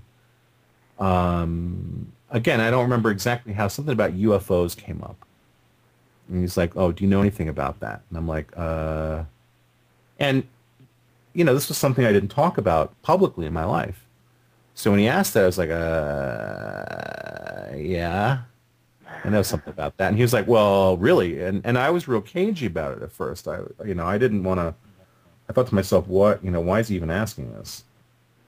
And, um, and from there, he kind of, uh, he kind of convinced me to, um, to do the show with him. Now, what I perhaps didn't know at the time was that, you know, for Gene, this was really just another broadcast venue to get involved with. I know he had had an earlier interest in the topic, um, but I don't know really how sincere that interest was. And and this is another thing that as the Paracast evolved, I mean, it became clear to me that um, you know this was a guy who basically was just looking at this as another broadcast entity in um, a little a series of broadcast holdings he had. You know, really what, and again, this was not something that I ever really involved myself with, but um, you know, with Gene, it's always ever been just about having something to sell advertising on. I think ultimately his real interest in these topics is is is constrained. And and what I can tell you guys is this, and, and not to not to totally bash on Gene, but you know what? I haven't had my my opportunity to talk about this. And I think people should know, and I think people for the most part do know. Anybody who listens to that show carefully, you listen to the first four years of the Paracast, I think it's pretty clear who read the book and who didn't read the book. Let's put it that way. We have a uh, guest on, and there are questions coming up about their, their book. And if you notice, you know, Gene usually tries to play down that kind of stuff because he doesn't read anything. He didn't ask questions. Very rarely did he ask questions. He segued into commercials, and but he didn't ask right. questions. That's right. So, like I said, I think for anybody who's paying attention, it's pretty clear what his real level of involvement in this is. And, you know, once this all exploded and I backed away, I mean, you know, I have an email where he told somebody, a third party, he said to them that he was going to protect the business. That that was really, you know, the one thing that he was concerned about was protecting the business. The integrity of the show means squat to him. Let's just be clear about that. I think that people really need to understand this. You know, Gene has, like I said, he has basically whitewashed my leaving to benefit him. He's, you know, put this message out that oh, I just walked away and, uh, you know, because I wanted nothing more to do with the field. Well, yeah, that was one element of it, but to be associated with his uh, constant pleading and begging for money is not something I wish to have reflect on me. And like I said, I mean, you know, it, there was all this stuff about how after I left, he immediately reopened this communication with Bill Burns, who is another wart on this field, another person. I mean, you know, I, I, know Bill pretty well. I've interacted with Bill and his wife, and uh, they're opportunists. They basically they're involved in this for money issues. You know, and people need to understand. I mean, you know, uh, that this is nothing more to them than a way to generate income. You know, the whole thing about the UFO Hunters show, anybody who watched that show knows damn well it was a travesty. Absolute travesty. And it did nothing to help the field. It did plenty to help Bill Burns and his bank account. And, and you know, so for Gene to reopen a relationship with Burns, I fucking lost it. And, and if Gene hadn't done that, honestly, I mean, we probably wouldn't be talking right now. But he went and did that, and which I and he did it within a week or two of me leaving the show he did this, and then started increasing the number of pleading emails he was sending out to people, begging for money, basically spinning bullshit tales about all of this financial intrigue with his family that, you know, look, four years ago, he was hitting me up for, for money and starting to weave the story to me, and I was like, what the fuck are you talking about? It was so convoluted. And he's like, well, it's all, it's going to be a resolution like next week. I just need like thousands. I'm like, huh? What? Even Paratopia you know. was asking for money for him. Well, there you go. Um, I think that was more of a way for them to try to, eh, you know, in in their way, they they weren't doing it out of the kindness of their hearts. Okay. This was just a way for them. That what they were really doing was making fun of Gene to his face, and he wasn't astute enough to get it. That's what was really going on there. Okay. Um, they were mocking him in kind of this underhanded way, realizing that he's too dense to get it. And they were right. He didn't get it. So, um, you know, you see all of that. And like I said, I mean, I just felt that this was just part of yet another aspect of the ugliness of this field. And, and where there's so much ugliness. I mean, I sent you guys a thing yesterday about um, the guys over at Reality Uncovered basically uh, debunking this whole bullshit uh, source A nonsense from Sean and Clay Pickering. This thing where if you read it, and what they did was genius, and hopefully you'll put a link up on your website to this so people can read this. Yeah, I looked through it. It was definitely interesting. It's fabulous. It's an incredibly good uh, analysis and deconstruction of of a hoax, of a long-running hoax. And, and again, um, you know, you look at these guys, Sean and Clay Pickering, they have no backgrounds. They just show up in this field. And the minute you have people like Michael Salla and Alfred Webre supporting you, you know that this is just horseshit. And so one of the things I want to put out to people is that, you know, if you want to be interested in this field, obviously that's great. That's fine. But you should definitely make two boxes, one called entertainment and fantasies, and you know put that box fill that box up with stuff that's you know anything if it's got the exo political label on it throw it in there. Because that's where it belongs. Because it's the the idea the simple idea that there would be some peer level relationship between humans and non-human entities is so delusional that it's really laughable. It's comical. You know, it's kind of like saying we're going to have a political relationship between humans and ants it's exactly. like ridiculous. I mean, what the fuck are we talking about here? Well, that's kind of the equivalent of what these people are saying. So it's basically, it's all wish fulfillment fantasy nonsense. And you should basically take all of that and throw it on the side. I mean, if it comes out of the Project Camelot people, if Bill Ryan or Kerry, Cass- Kerry Cassidy are associated with it, you know it's shit. If Webre or, or, or Saul are associated with it, you know it's shit. If if Stephen Bassett thinks you're the best thing since uh, since baked bread, you know it's crap. I mean, you know, and, and it's like, well, just have an open mind. And it's like, mm.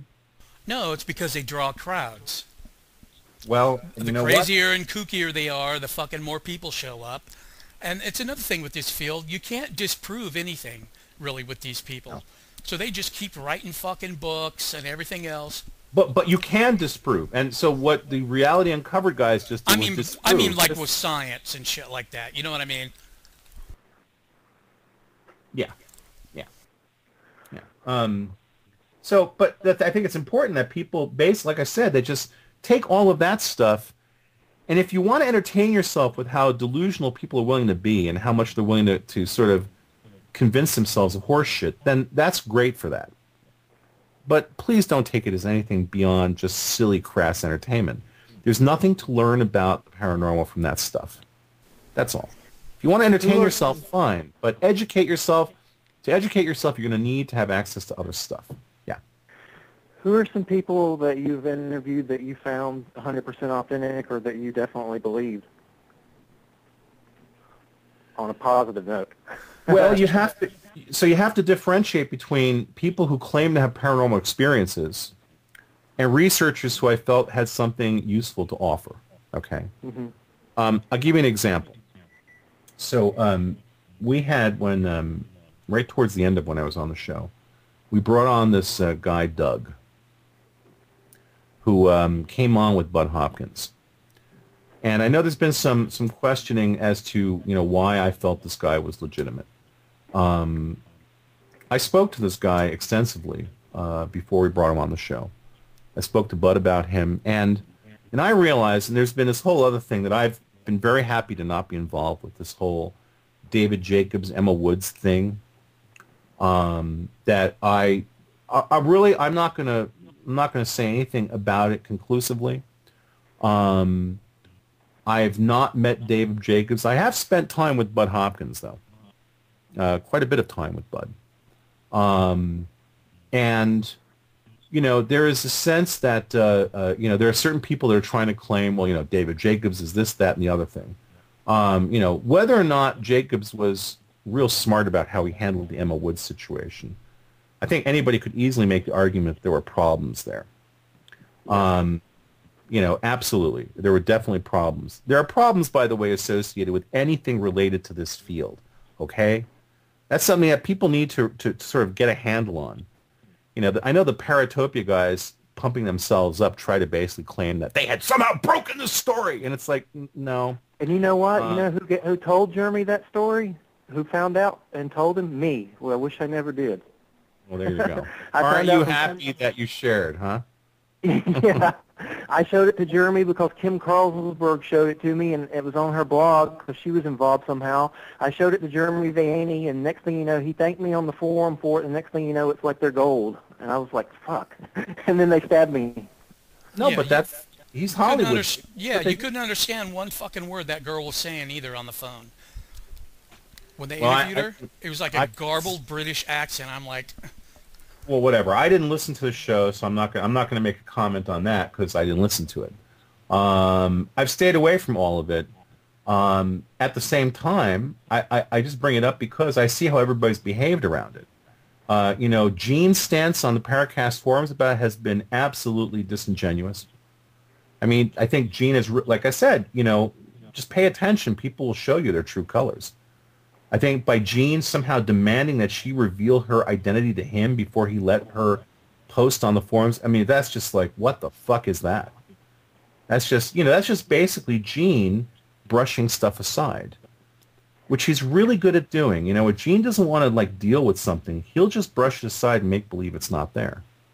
He, he's he's real good at doing the denial thing. I mean, he's exceptionally good at that. But the point of all of this, um, is that um, I felt that Doug, having spoken to Bud about him, and, and I, I, you know, unlike a lot of other people, I don't think Bud is some terrible person looking to take advantage. Blah, blah, blah, it's like mm, to know the man is to know that that's simply not who he is. That's the bottom line. I mean, people are quick to like judge him uh, without ever having met or talked to the man. Um, you know, okay, whatever. I'm not trying to say by me meeting him, having spoken to him, I know exactly who he is. I wouldn't say that. Um, but this is a guy who never needed the UFO topic to have the respect and adoration of, of his friends. This is not somebody who, who needed to be involved with this to have visibility. Uh, this is an this is an accomplished artist who you know again it's like they didn't need any of this. So, you know, when people start pointing him and saying, look at what he's done, look at this stuff, he's like, he has some religion, some, some cult. It's like, that's just fucking nonsense. That's all. Um, but, you know, in bringing Doug on and in speaking to Doug, and, and in, I've even spoken to Doug since then, quite a bit actually, um, I don't doubt that Doug has had some really terrifying experiences. He doesn't claim to understand what's gone on. He just knows he's had some really fucked up experiences. Uh, that have messed with his life. That's that's what he knows. Um, you know, he hasn't wanted to be to go public. he was very careful about me protecting his identity. Um, you know, the minute people are, are are are willing to come forward and talk, but you know, don't want to directly benefit from any of this. And again, if he was seeking attention, he'd be on every show. He's not seeking attention. People might say, "Well, he's doing it for attention." It's like, mm, no, I actually had to talk him into coming on the show. So it wasn't, you know, he wasn't like bursting to get on the show. Unlike, for example, Jim Sparks, who had his agent call us to put him on the show. Mm. When someone has their agent call you to get on your show, you can start to question their motive.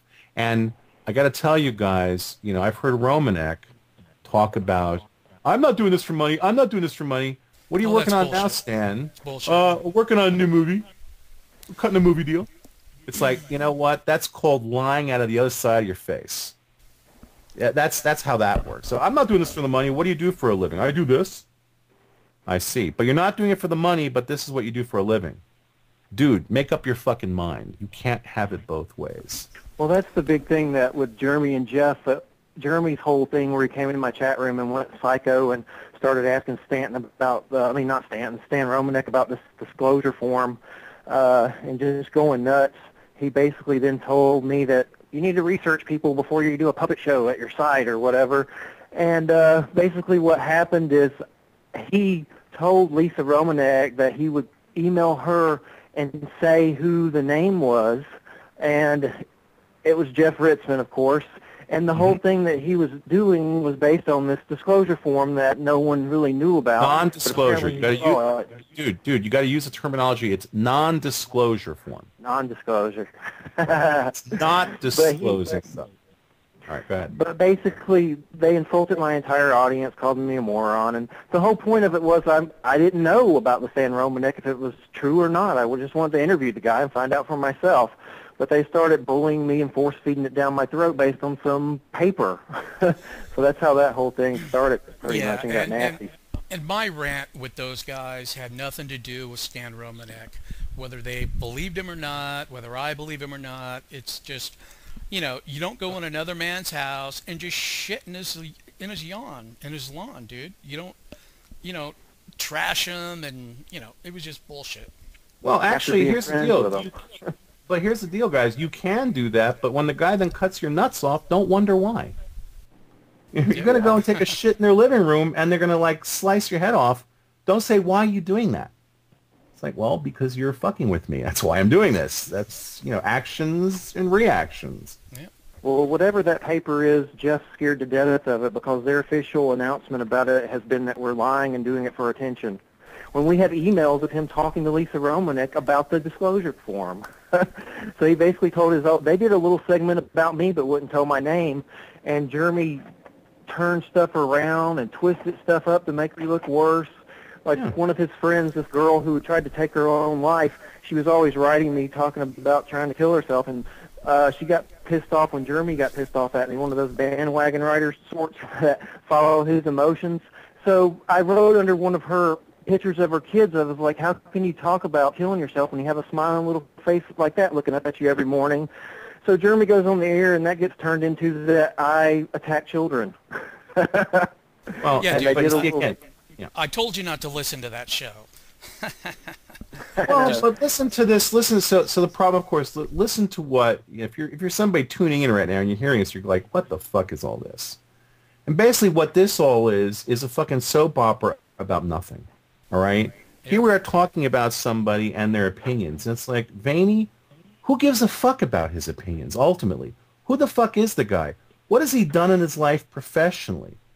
you know what who is and again look for provenance look for background you know you look into him and what you find is a big ball of nothing so it's like what the fuck the only reason that anybody is even talking about him is because he's like shitting in the corner he's like he's shitting in his hand and throwing it at himself. And we're supposed to go, oh look at that. He's throwing shit at himself. It's like you know the what? you don't want to fucking get near that man. And you don't want to and, and really this is, and this is, of course, another reason why I just had to like pull away from all this stuff. It became so much about the fucking people involved in this shit and these personal fucking nonsensical bullshit stories about the personal politics and all this other crap that has nothing to do with the paranormal. This is all far too fucking normal. You know, this is like people's petty politics and bullshit and if you want to engage in that, that's fine, but at least do it eh, where there's like some productive results at the end. To get into a, and this is where, where this is why after we had the falling out, I just refused to talk about them publicly because I knew that's what they wanted. I knew that they were like saying these things about me on their show to basically, it's like the kid, the little fucking nasty child that's poking at you because they want to engage you and they don't care what the basically what the actual like nature of the engagement is. They just want attention, whether it's positive or negative attention. They don't really fucking care. They just want any attention, whatever it is. And if you don't pay attention to them, they just start screaming louder and louder.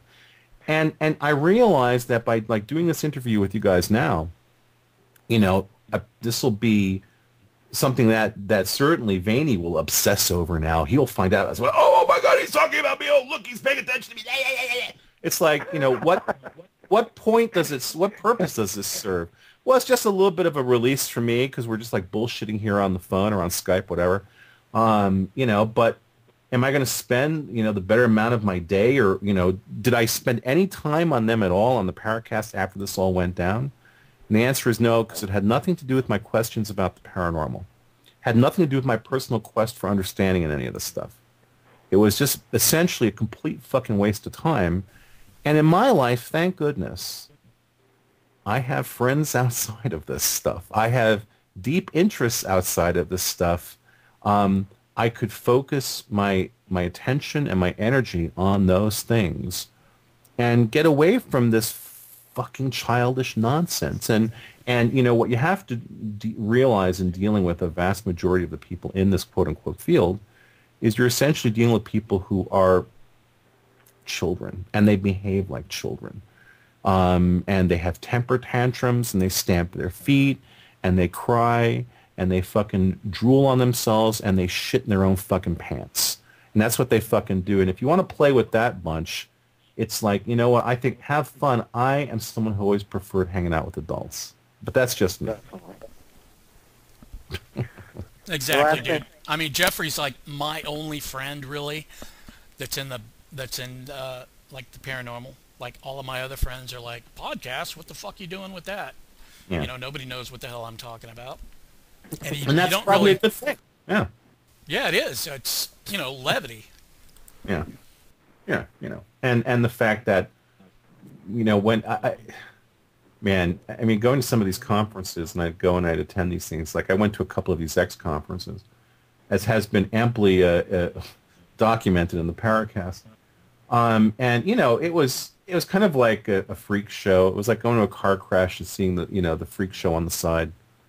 It's not not something I'd want to do as a steady diet. Um, and and and doing it, you know, being at at a couple of these conferences, I would kind of get really um, after like a day or two, just kind of like be I don't burned out's the wrong term, just kind of like underwhelmed. It's depressing.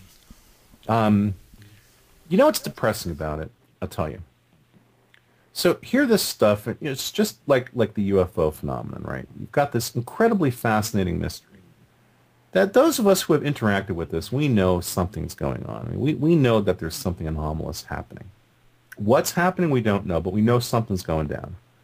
So here's this fascinating mystery.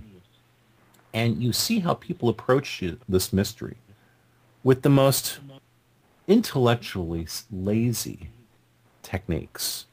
You know, or just basically the thing that really, guys, I mean, you know, what I really realized doing the Paracast for four years, and I'm sure I've said it on the Paracast and I'll say it here again, um, you know, it became clear to me that large contingent of people were using the paranormal as a proxy religion. You know, basically this was their way to explain, you know, to, to feel comfortable with their place in the universe and their role within it. And for a lot of people, I think they, you know, traditional religions, established religions, have sort of let them down. And they were looking at this stuff as the, the new unknown. This was like the new uh, mystery that they would assimilate into their lives, and this would give them some metaphysical meaning um, and and fulfill that that need that I think um, our culture has largely ignored now. You know, there's this idea that you know in this uh, in this reality in which we live, uh, as long as all your material needs are met, that's really kind of all you need, and maybe you'll have a helping of the sanctioned spiritual um, uh, commodity. You know, whether it's the uh, Catholic or Jewish or Buddhist or Muslim or you know whatever brand of religion you're going to buy into. Um, that you know for people, for a lot of people, I think the paranormal is effectively the 21st century religion, um, with all of its dogmatic beliefs and all of its hard-headedness and all of its irrationality. I have no interest in any of this stuff as a religion. In fact, something that's become really crystal clear to me now in my life is if anything, I'm actually um, I'm deeply turned off by religion. Uh, I, I've, I've, in my old age, I'm becoming anti-religious. Yeah. Yeah. And yeah. so, any religious expression um, at this point, it, it, gets it makes me uncomfortable. Yeah, I just and, flip a switch and uh, I shut them off. I just stop um, listening to them.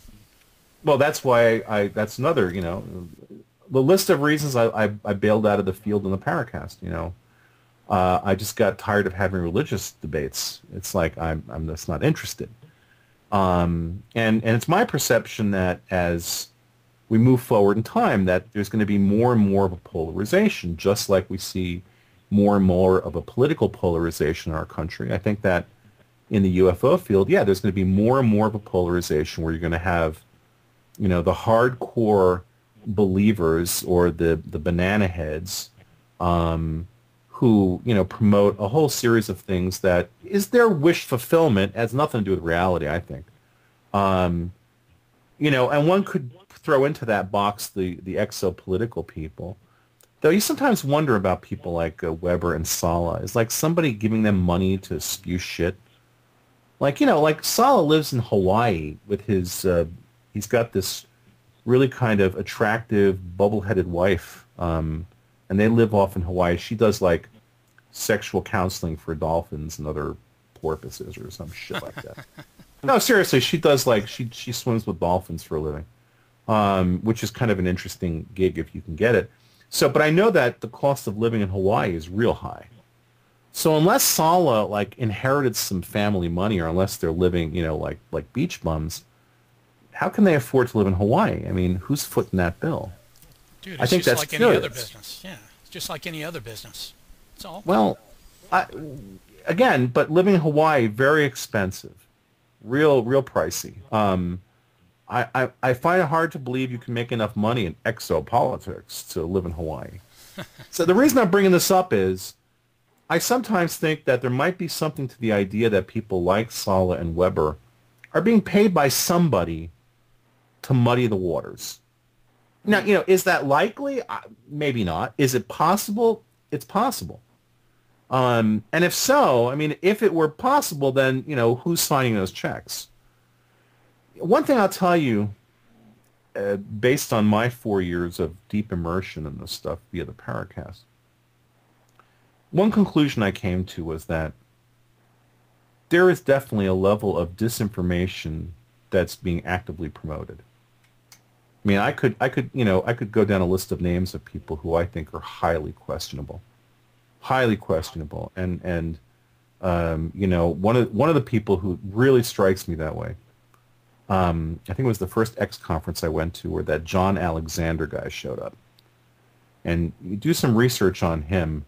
If you ever want to make an argument for reptilians, John Alexander could absolutely be like some kind of a fucking reptile disguised as a human, man. He, yeah, he's got that look. yeah. He's scary. He's just he's just a scary guy. Um, but you look at him, you look at his background, and you look at his credentials, and there's something off about him. Something's not quite right about him. Um, is he involved in some way with some sort of an interesting, weird disinformation effort? Yeah, I, if I had to put money on it, I'd say yes. Um, you know, uh, but it's kind of like I, I do agree with some people who say that with the way the UFO field is in general, that you wouldn't have to like have anybody try to spread disinformation. The field is its own worst enemy. I was just gonna say that, dude. There's more yeah. bullshit out there right now. You know, it's crazy. You know, when when I kind of started doing this show with with Jeffrey, you know, my, my big thing wasn't really big name guests. I wanted to have just regular people to be able to come on and talk about their experiences.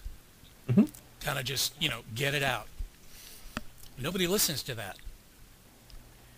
Well, um, it's tough because, you know, people, we are a culture that is so indoctrinated into the idea of branding that we, we look for um, we look for that authority. We look up to authority. People want to hear authorities talk about stuff. So when you get down to the personal anecdotes about things, well, then you end up with the, you know, like David Huggins, who we had on our show, um, I guess it was last year, that guy who had this illustrated book about his lifetime of experiences with uh, these creatures that uh, got him to create hybrid babies with them. Now, Huggins very nice man. I don't believe a word of his stories. He's a very nice man. Um, so, you know, he shows up on the show and, so, you know, purportedly an experiencer with this, you know, book of paintings he did of his experiences. but ultimately it's hard to sort of grab onto anything, and it's hard to find any of it real compelling because it's you know it's it doesn't ring true. And and this is something that I think that you know, like I said earlier, this this issue about people not trusting their intuitions, um, where maybe they should a little bit. You know, when you when you your first impression of something is really important. You know, that when you see a photograph of something anomalous, there's something at a subconscious level that in your brain that you know is it knows when it's seeing something real or not real. It knows, and it, it your brain tells you, and that first impression, uh, you should listen to it, especially in a time when we're all so conditioned to being or to watching fabricated realities in movies. You know, usually, if you're watching a movie, and I'm not going to say all the time, especially if the effects artist did their work right you know, uh, the best visual effects are the ones that you don't notice, the ones that happen and you never once guessed you weren't seeing something real. Um, but today in the movies, when you go to see a movie, there's so much uh, of the time that you can very obviously know when you're seeing something fabricated. You know, I, I think anybody who went to, for example, um, to to watch any of the last three Star Wars films, Phantom Menace and Attack of the Bones and uh, what was the other one? Uh, the Chicken Sandwich Wars or something. Yeah, I don't know who what. cares? but um, when you're seeing those movies, you know there is no suspension of disbelief whatsoever. You know you're seeing, in the case of those three movies, not even very good computer graphics. It was stuff sort of done uh, quick um, and relatively cheap um, because Lucas is someone who's relatively cheap and it shows in his movies. It, it really sort of does, sadly, if you're looking carefully. You know, from, from if you're looking from the point of view of a visual effects artist, not somebody who's like a Star Wars fanboy. You know, if you're a Star Wars fanboy, you lap every bit of that shit up like it was fine cream. Um, if, on the other hand, you actually care about story and you know character development and plot and continuity and intelligibility and uh, you know, or, or, or like subtle effects, then you look at those movies and they're essentially a travesty. Um, but your eye knows that it's seeing something that's completely fabricated. Um, so the point I'm trying to make in all of this is, is that in general, as, as a, a culture, we've been for so many years now subject to so many generated graphics that your eye sort of at a subconscious level now knows when it's seeing something fake because you've seen so much fake stuff and so much of it's not very well made that you kind of know when you're seeing motion that's not totally realistic. Um, which, by the way, is one of the reasons that um, companies like Industrial Light and Magic were able to create a convincing dinosaur long before they could make a convincing human character.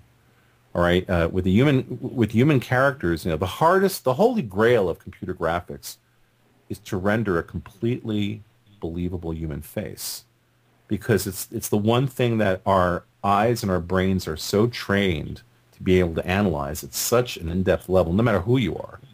Um, on a biological level, you know, your mind knows all about how to look at someone else's face and come up with all sorts of bits of understanding about what you're confronting with someone else in front of you by analyzing their face. You're so used to looking for minute details in facial tics and eye movement, uh, all sorts of body language issues that to generate something fake that would read in your mind as a real human face is is still almost impossible.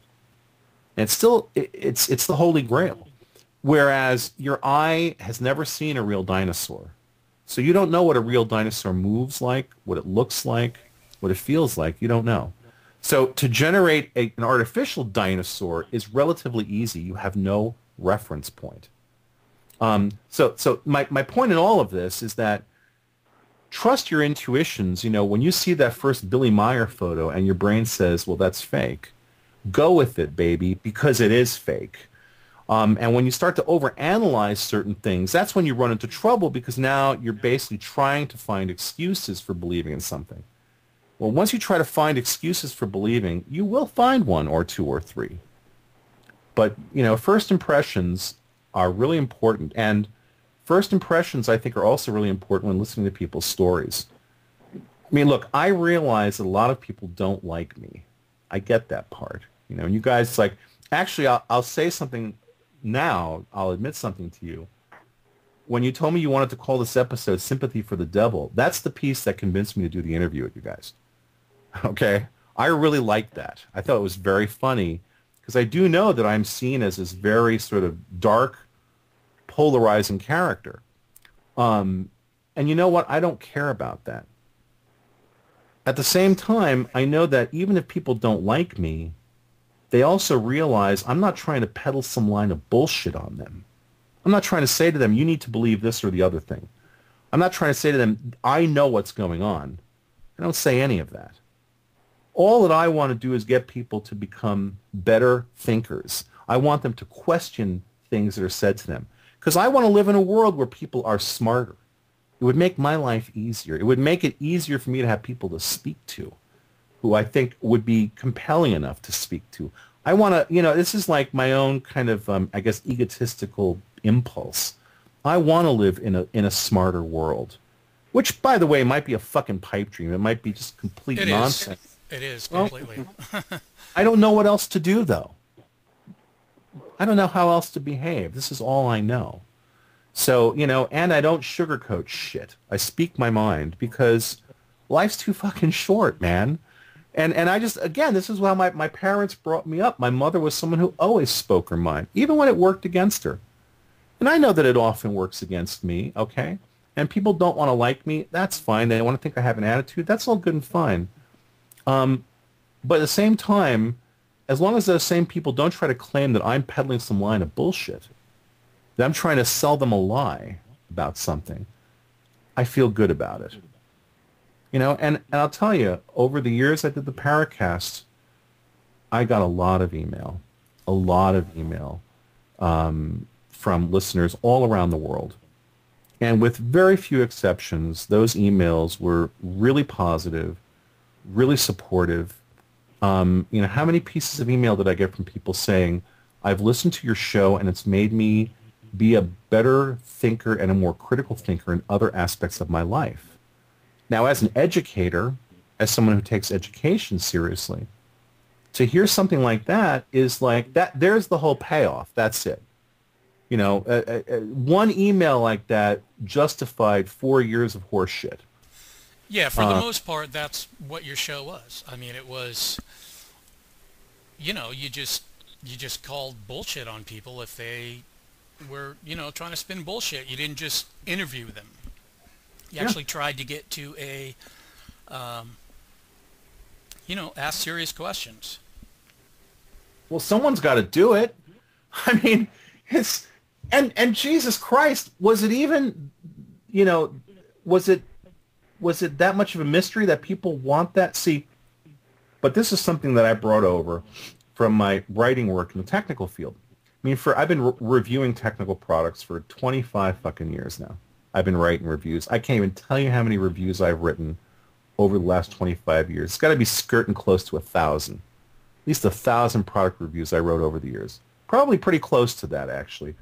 Um, by the time you factor in feature articles, columns, uh, uh, reviews. Yeah, I mean, it's. Um, eh, oh, and by the way, uh, unlike people who write for UFO magazine, because nobody, not a single writer, gets paid to write for UFO magazine. All really? the writing I did, I was. Oh yeah, oh yeah. That's how they fill it with the shit they fill it with. They don't pay anybody. Yeah, yeah. That, that's that's that's the whole shtick at UFO magazine. They they pay nobody there. Okay. Hey, look, if I told you their circ numbers, it would make your head explode almost no one reads that piece of shit either, just so you know. All right. Uh, uh, uh, Nancy Birnes told me what their circ numbers were, and they're abysmal. I mean, you know, that they're they're barely moving issues of that magazine. Um, and the way they pull it off is by not paying their writers.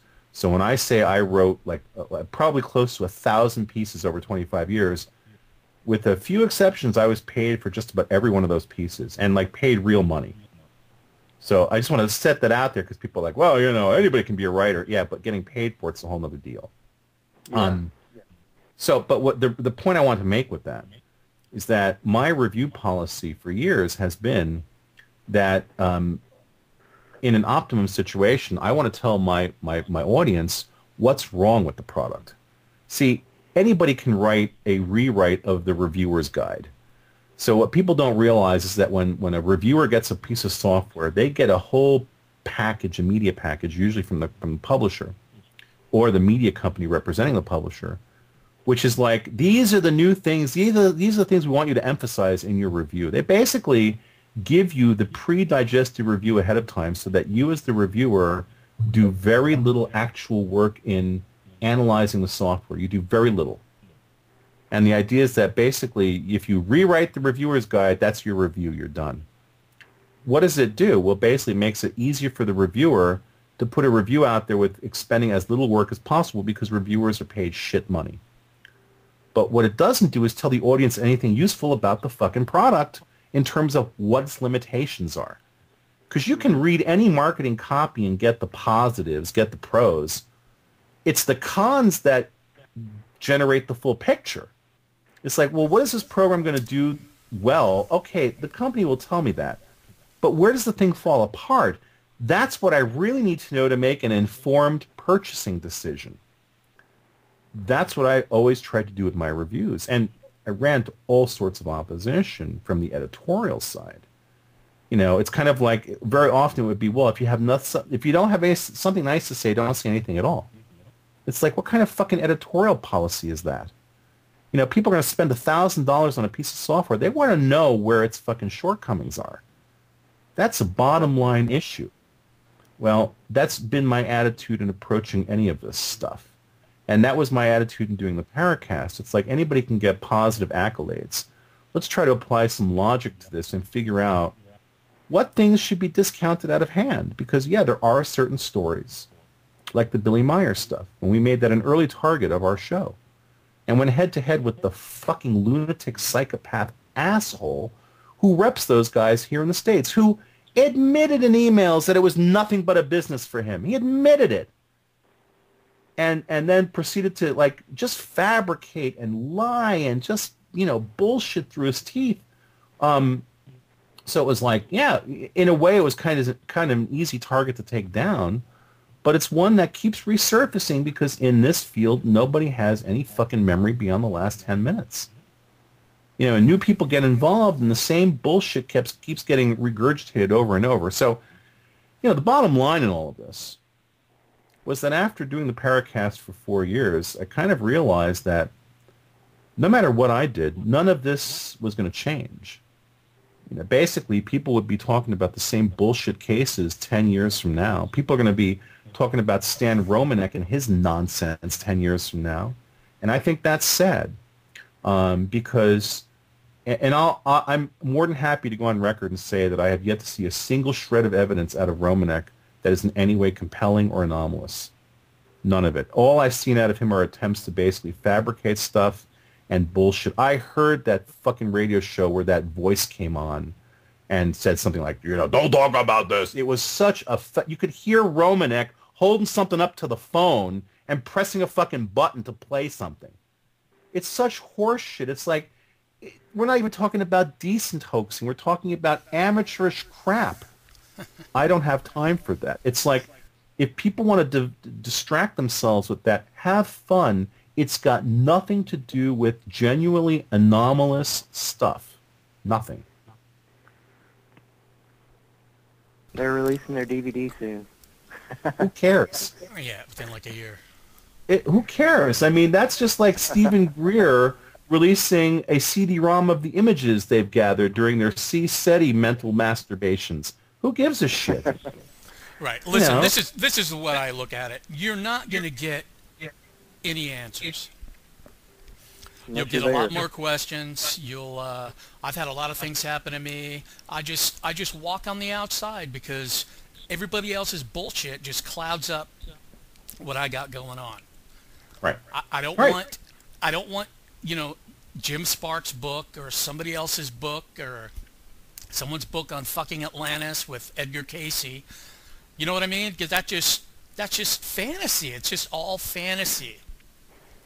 Well, and then meanwhile, when you have truly compelling paranormal cases like the Arigo case in Brazil that we talked about on the Paracast extensively. I went and dug up this guy David Sonnenschein, this filmmaker in L.A. who had gone down and researched the latest incarnation of Dr. Fritz.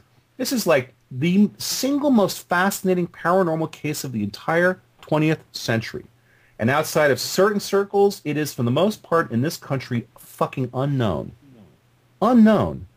And I worked very hard with the Paracast to give that case exposure, to, to tell people about the book that John G. Fuller, the guy who wrote the book about Betty and Barney Hill, people think that's his most compelling paranormal book. Not even close.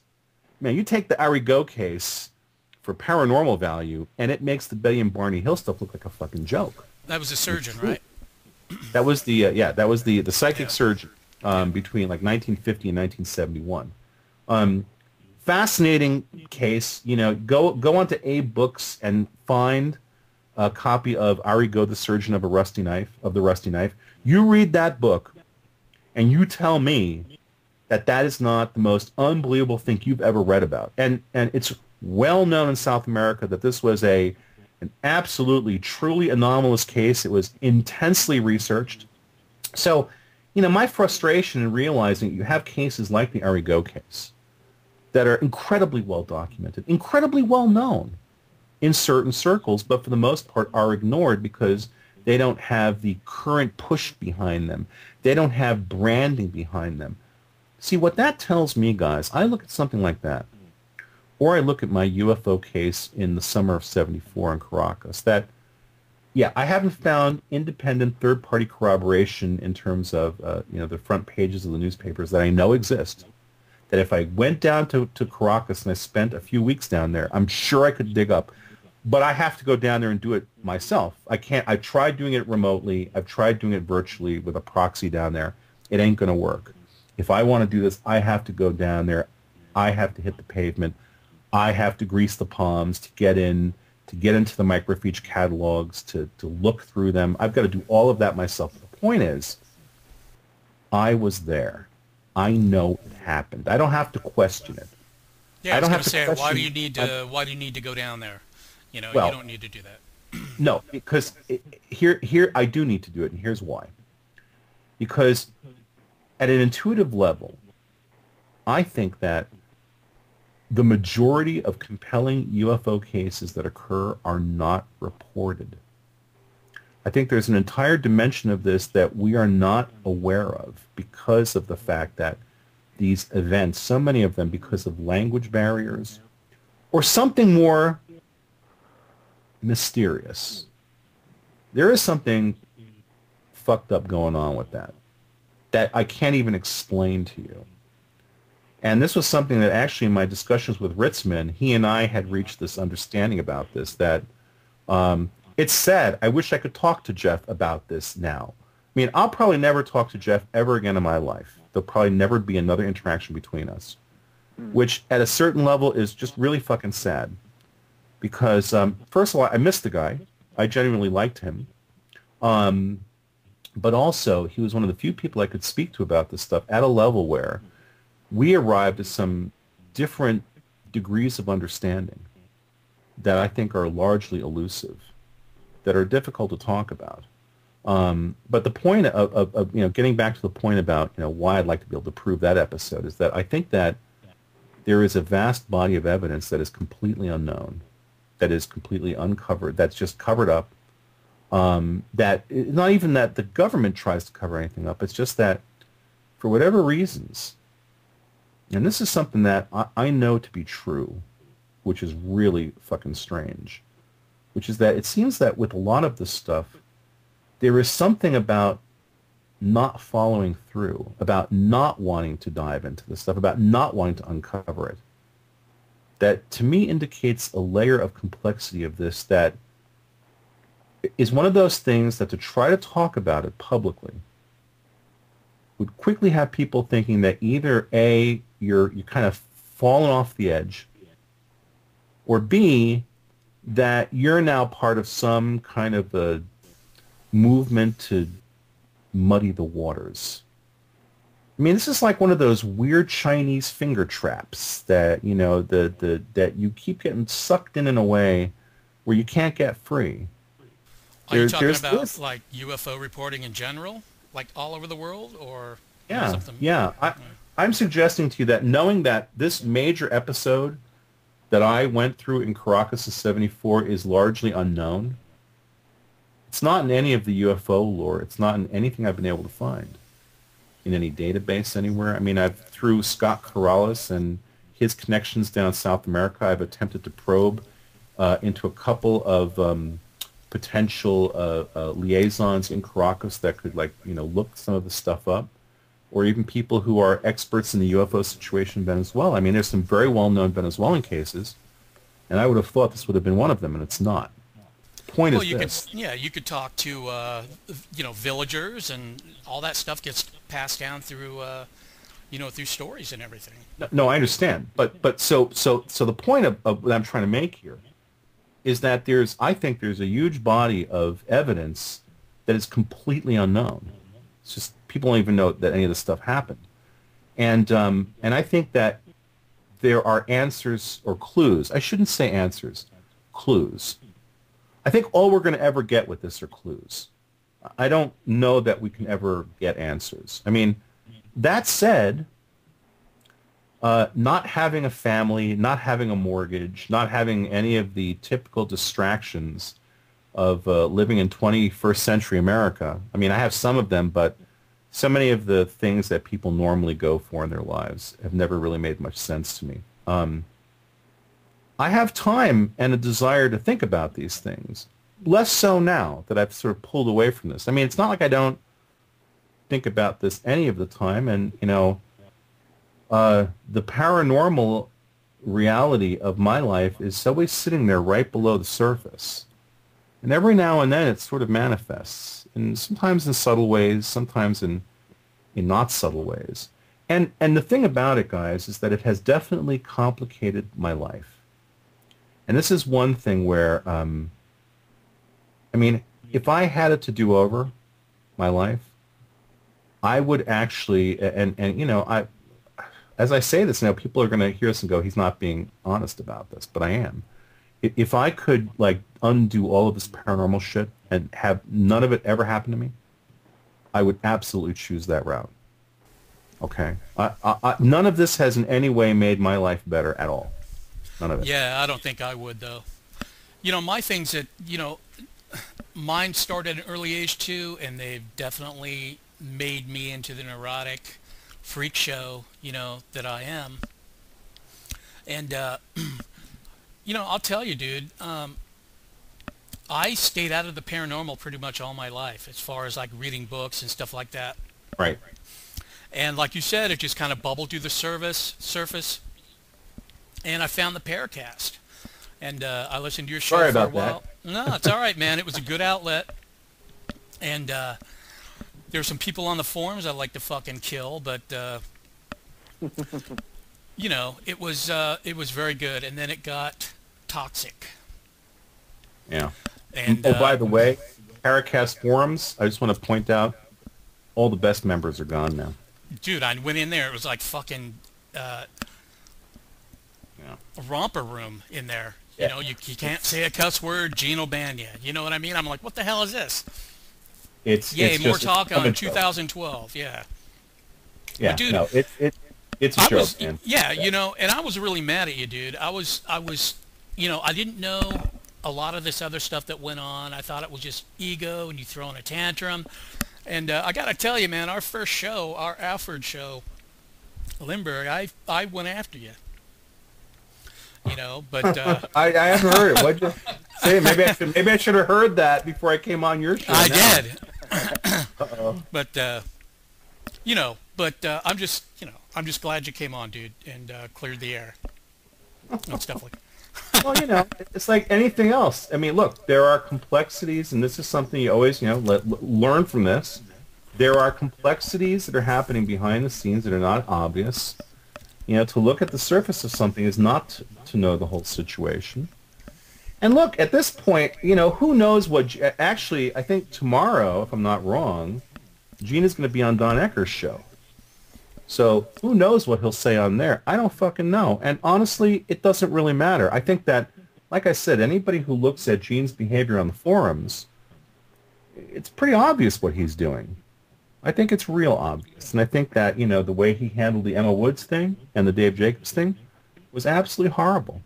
I think it was really bad. And, and I, I'm, I'm, I'm, I got to tell you, I'm so happy to not be associated with the show or the forums when that whole thing went down. I think the way that uh, you know they handled Jacobs when he when they brought him on the show and did that panel. I, I actually listened only to the very beginning of that one, and I listened to Gene whitewash the whole thing right up front. It was absolutely horrible.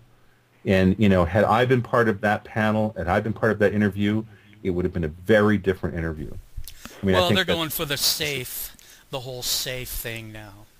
They had the four years of the of the drama and the intense, you know, there was a lot of intense uh, discussions on that forum. A lot of yeah. stuff on it. I mean, it was a pretty, uh, it was pretty good. But uh, now there's nothing like that. I've gone back there a few times, and it's just uh, they're trying to make it this safe little happy place, and well, it sucks. it it's you know there it is. I mean, you have the really great you know the the Skylers and the Dusties and the Bixie Boos and the people who were, you know, really dynamic, uh, Ferruccia, the people who we had um, the Mothras. come on that yeah, yeah, we had to come on that um, that listener panel that one time. We had a great lineup. None of those yeah. people forums anymore. Yeah, it was good show. Uh, yeah, you know, and and you know, and I was given you know a hard time because oh I was harsh or whatever. It's like, look, it's my sandbox. Uh, uh, am I sometimes a little uh, you know off? Do I fly off the handle? Yeah, I'm a native New Yorker, man. It's expected of me. It's in my genetics. it's like, you know, and in a sense, I think that kept things interesting. I, I didn't do it on, I, I, I, look, I am, what you see is what you get. All right, I don't have like multiple personas that I pull out during different parts of my life. I mean, this is it. Um, and, uh, you know, what someone really close to me once told me was that um, you know, people tend to have pretty extreme reactions to me. People either really, really like me or really fucking don't. There's not a lot of in between. And that's always been true in my life. You know, and some might say, well, you need to work on that. And it's like, eh, you know, some things you just kind of like learn to live with. Um, and that's just the way things are. I mean, I'm always going to speak my mind. And, uh, you know, is it something where I should learn to, to watch what I say to you know, sort of mitigate the damages? Yeah, probably, but uh, I, you know, I, I, what do I, I, I, you know, some things I can't change about me anymore. Uh, you know, the way that I speak my mind, I think that's a benefit. Plus the fact that it just helps with my, uh, it just helps with basically being true to who I am. I mean, I, I don't, I don't, I, I, you know, I just, I've always spoken my mind because I don't, I, I don't have the filters you know, people have these filters where they can essentially hold everything in. Um, I've never been able to do that, and I think that's the only thing that's kept me from completely losing my mind. I think that putting stuff right out there means I don't bottle shit up. so it right, doesn't have right. time to like build in me because it's like I let the steam right out. Um, and a close friend of mine once told me that he thought that was psychologically a very healthy uh, approach. It was pretty funny. I, I can't remember exactly which show it was, but when you started out on the Paracast, you were pretty you were pretty docile. You weren't very outspoken. You still asked, you know, regular common sense questions and stuff like that.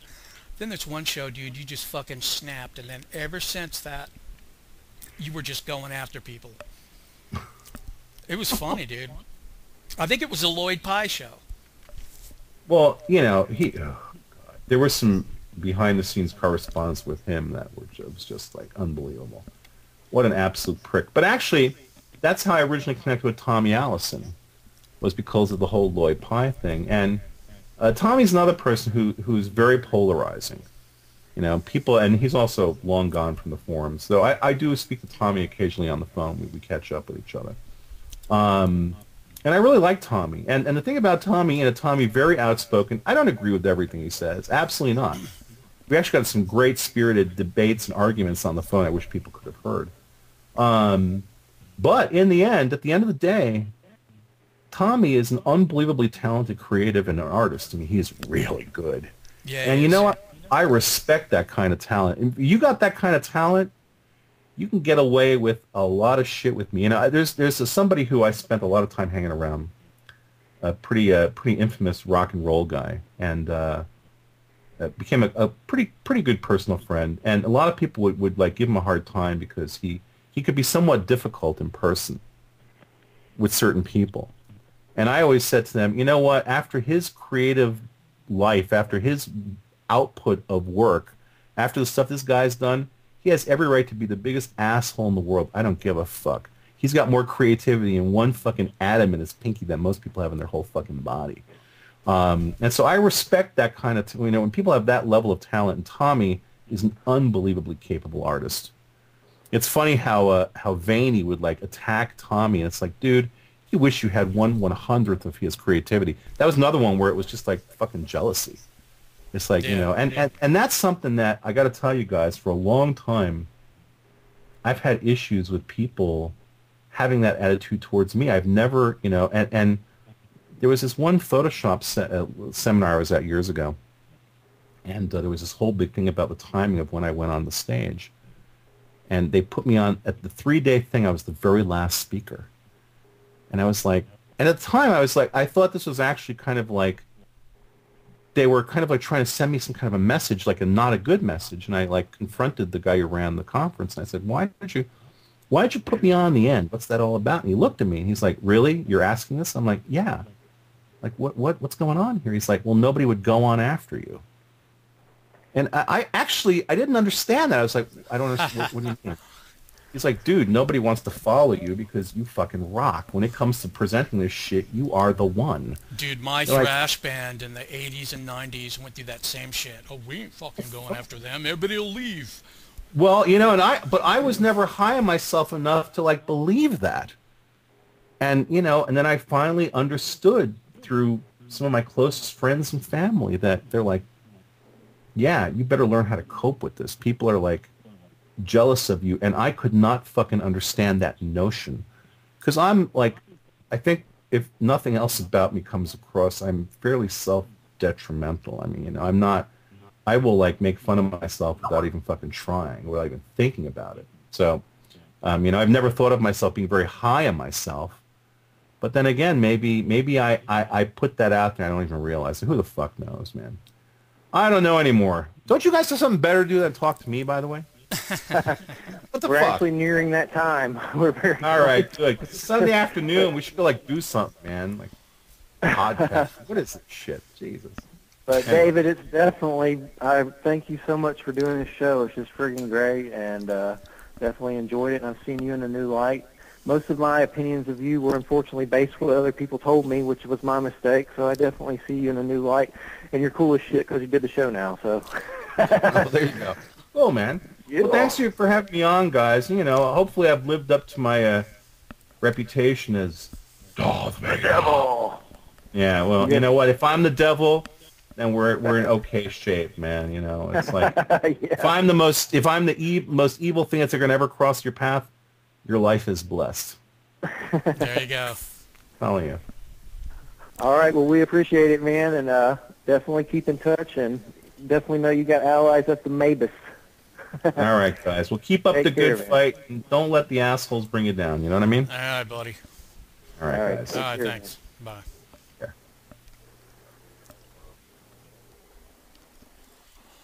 All righty. Okay. Dude, well, I'm so sick, man. I can hardly even fucking string words together. I'm like, Bleh. I know it's terrible. I uh, I didn't feel so hot yesterday either, but I know you've been a lot worse. So I appreciate you doing this. It's one we didn't want to definitely miss, and I definitely uh, we're gonna do Tessa next, and we'll keep that kind of like an hour and a half or shorter, and I'll lead that one. All right. I kind of let you lead this one because you're more familiar with him, and I just got quiet and listened. a lot to learn, though. Learned a lot from him about everything, really.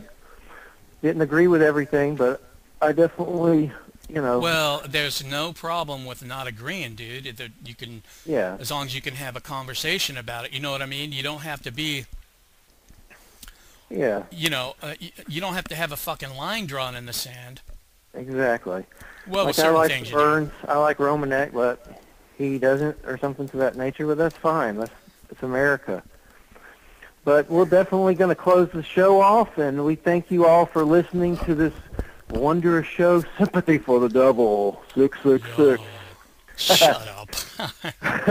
Shut up, damn it! All right, All right, end later, it, man. baby. All right, Later. bye-bye.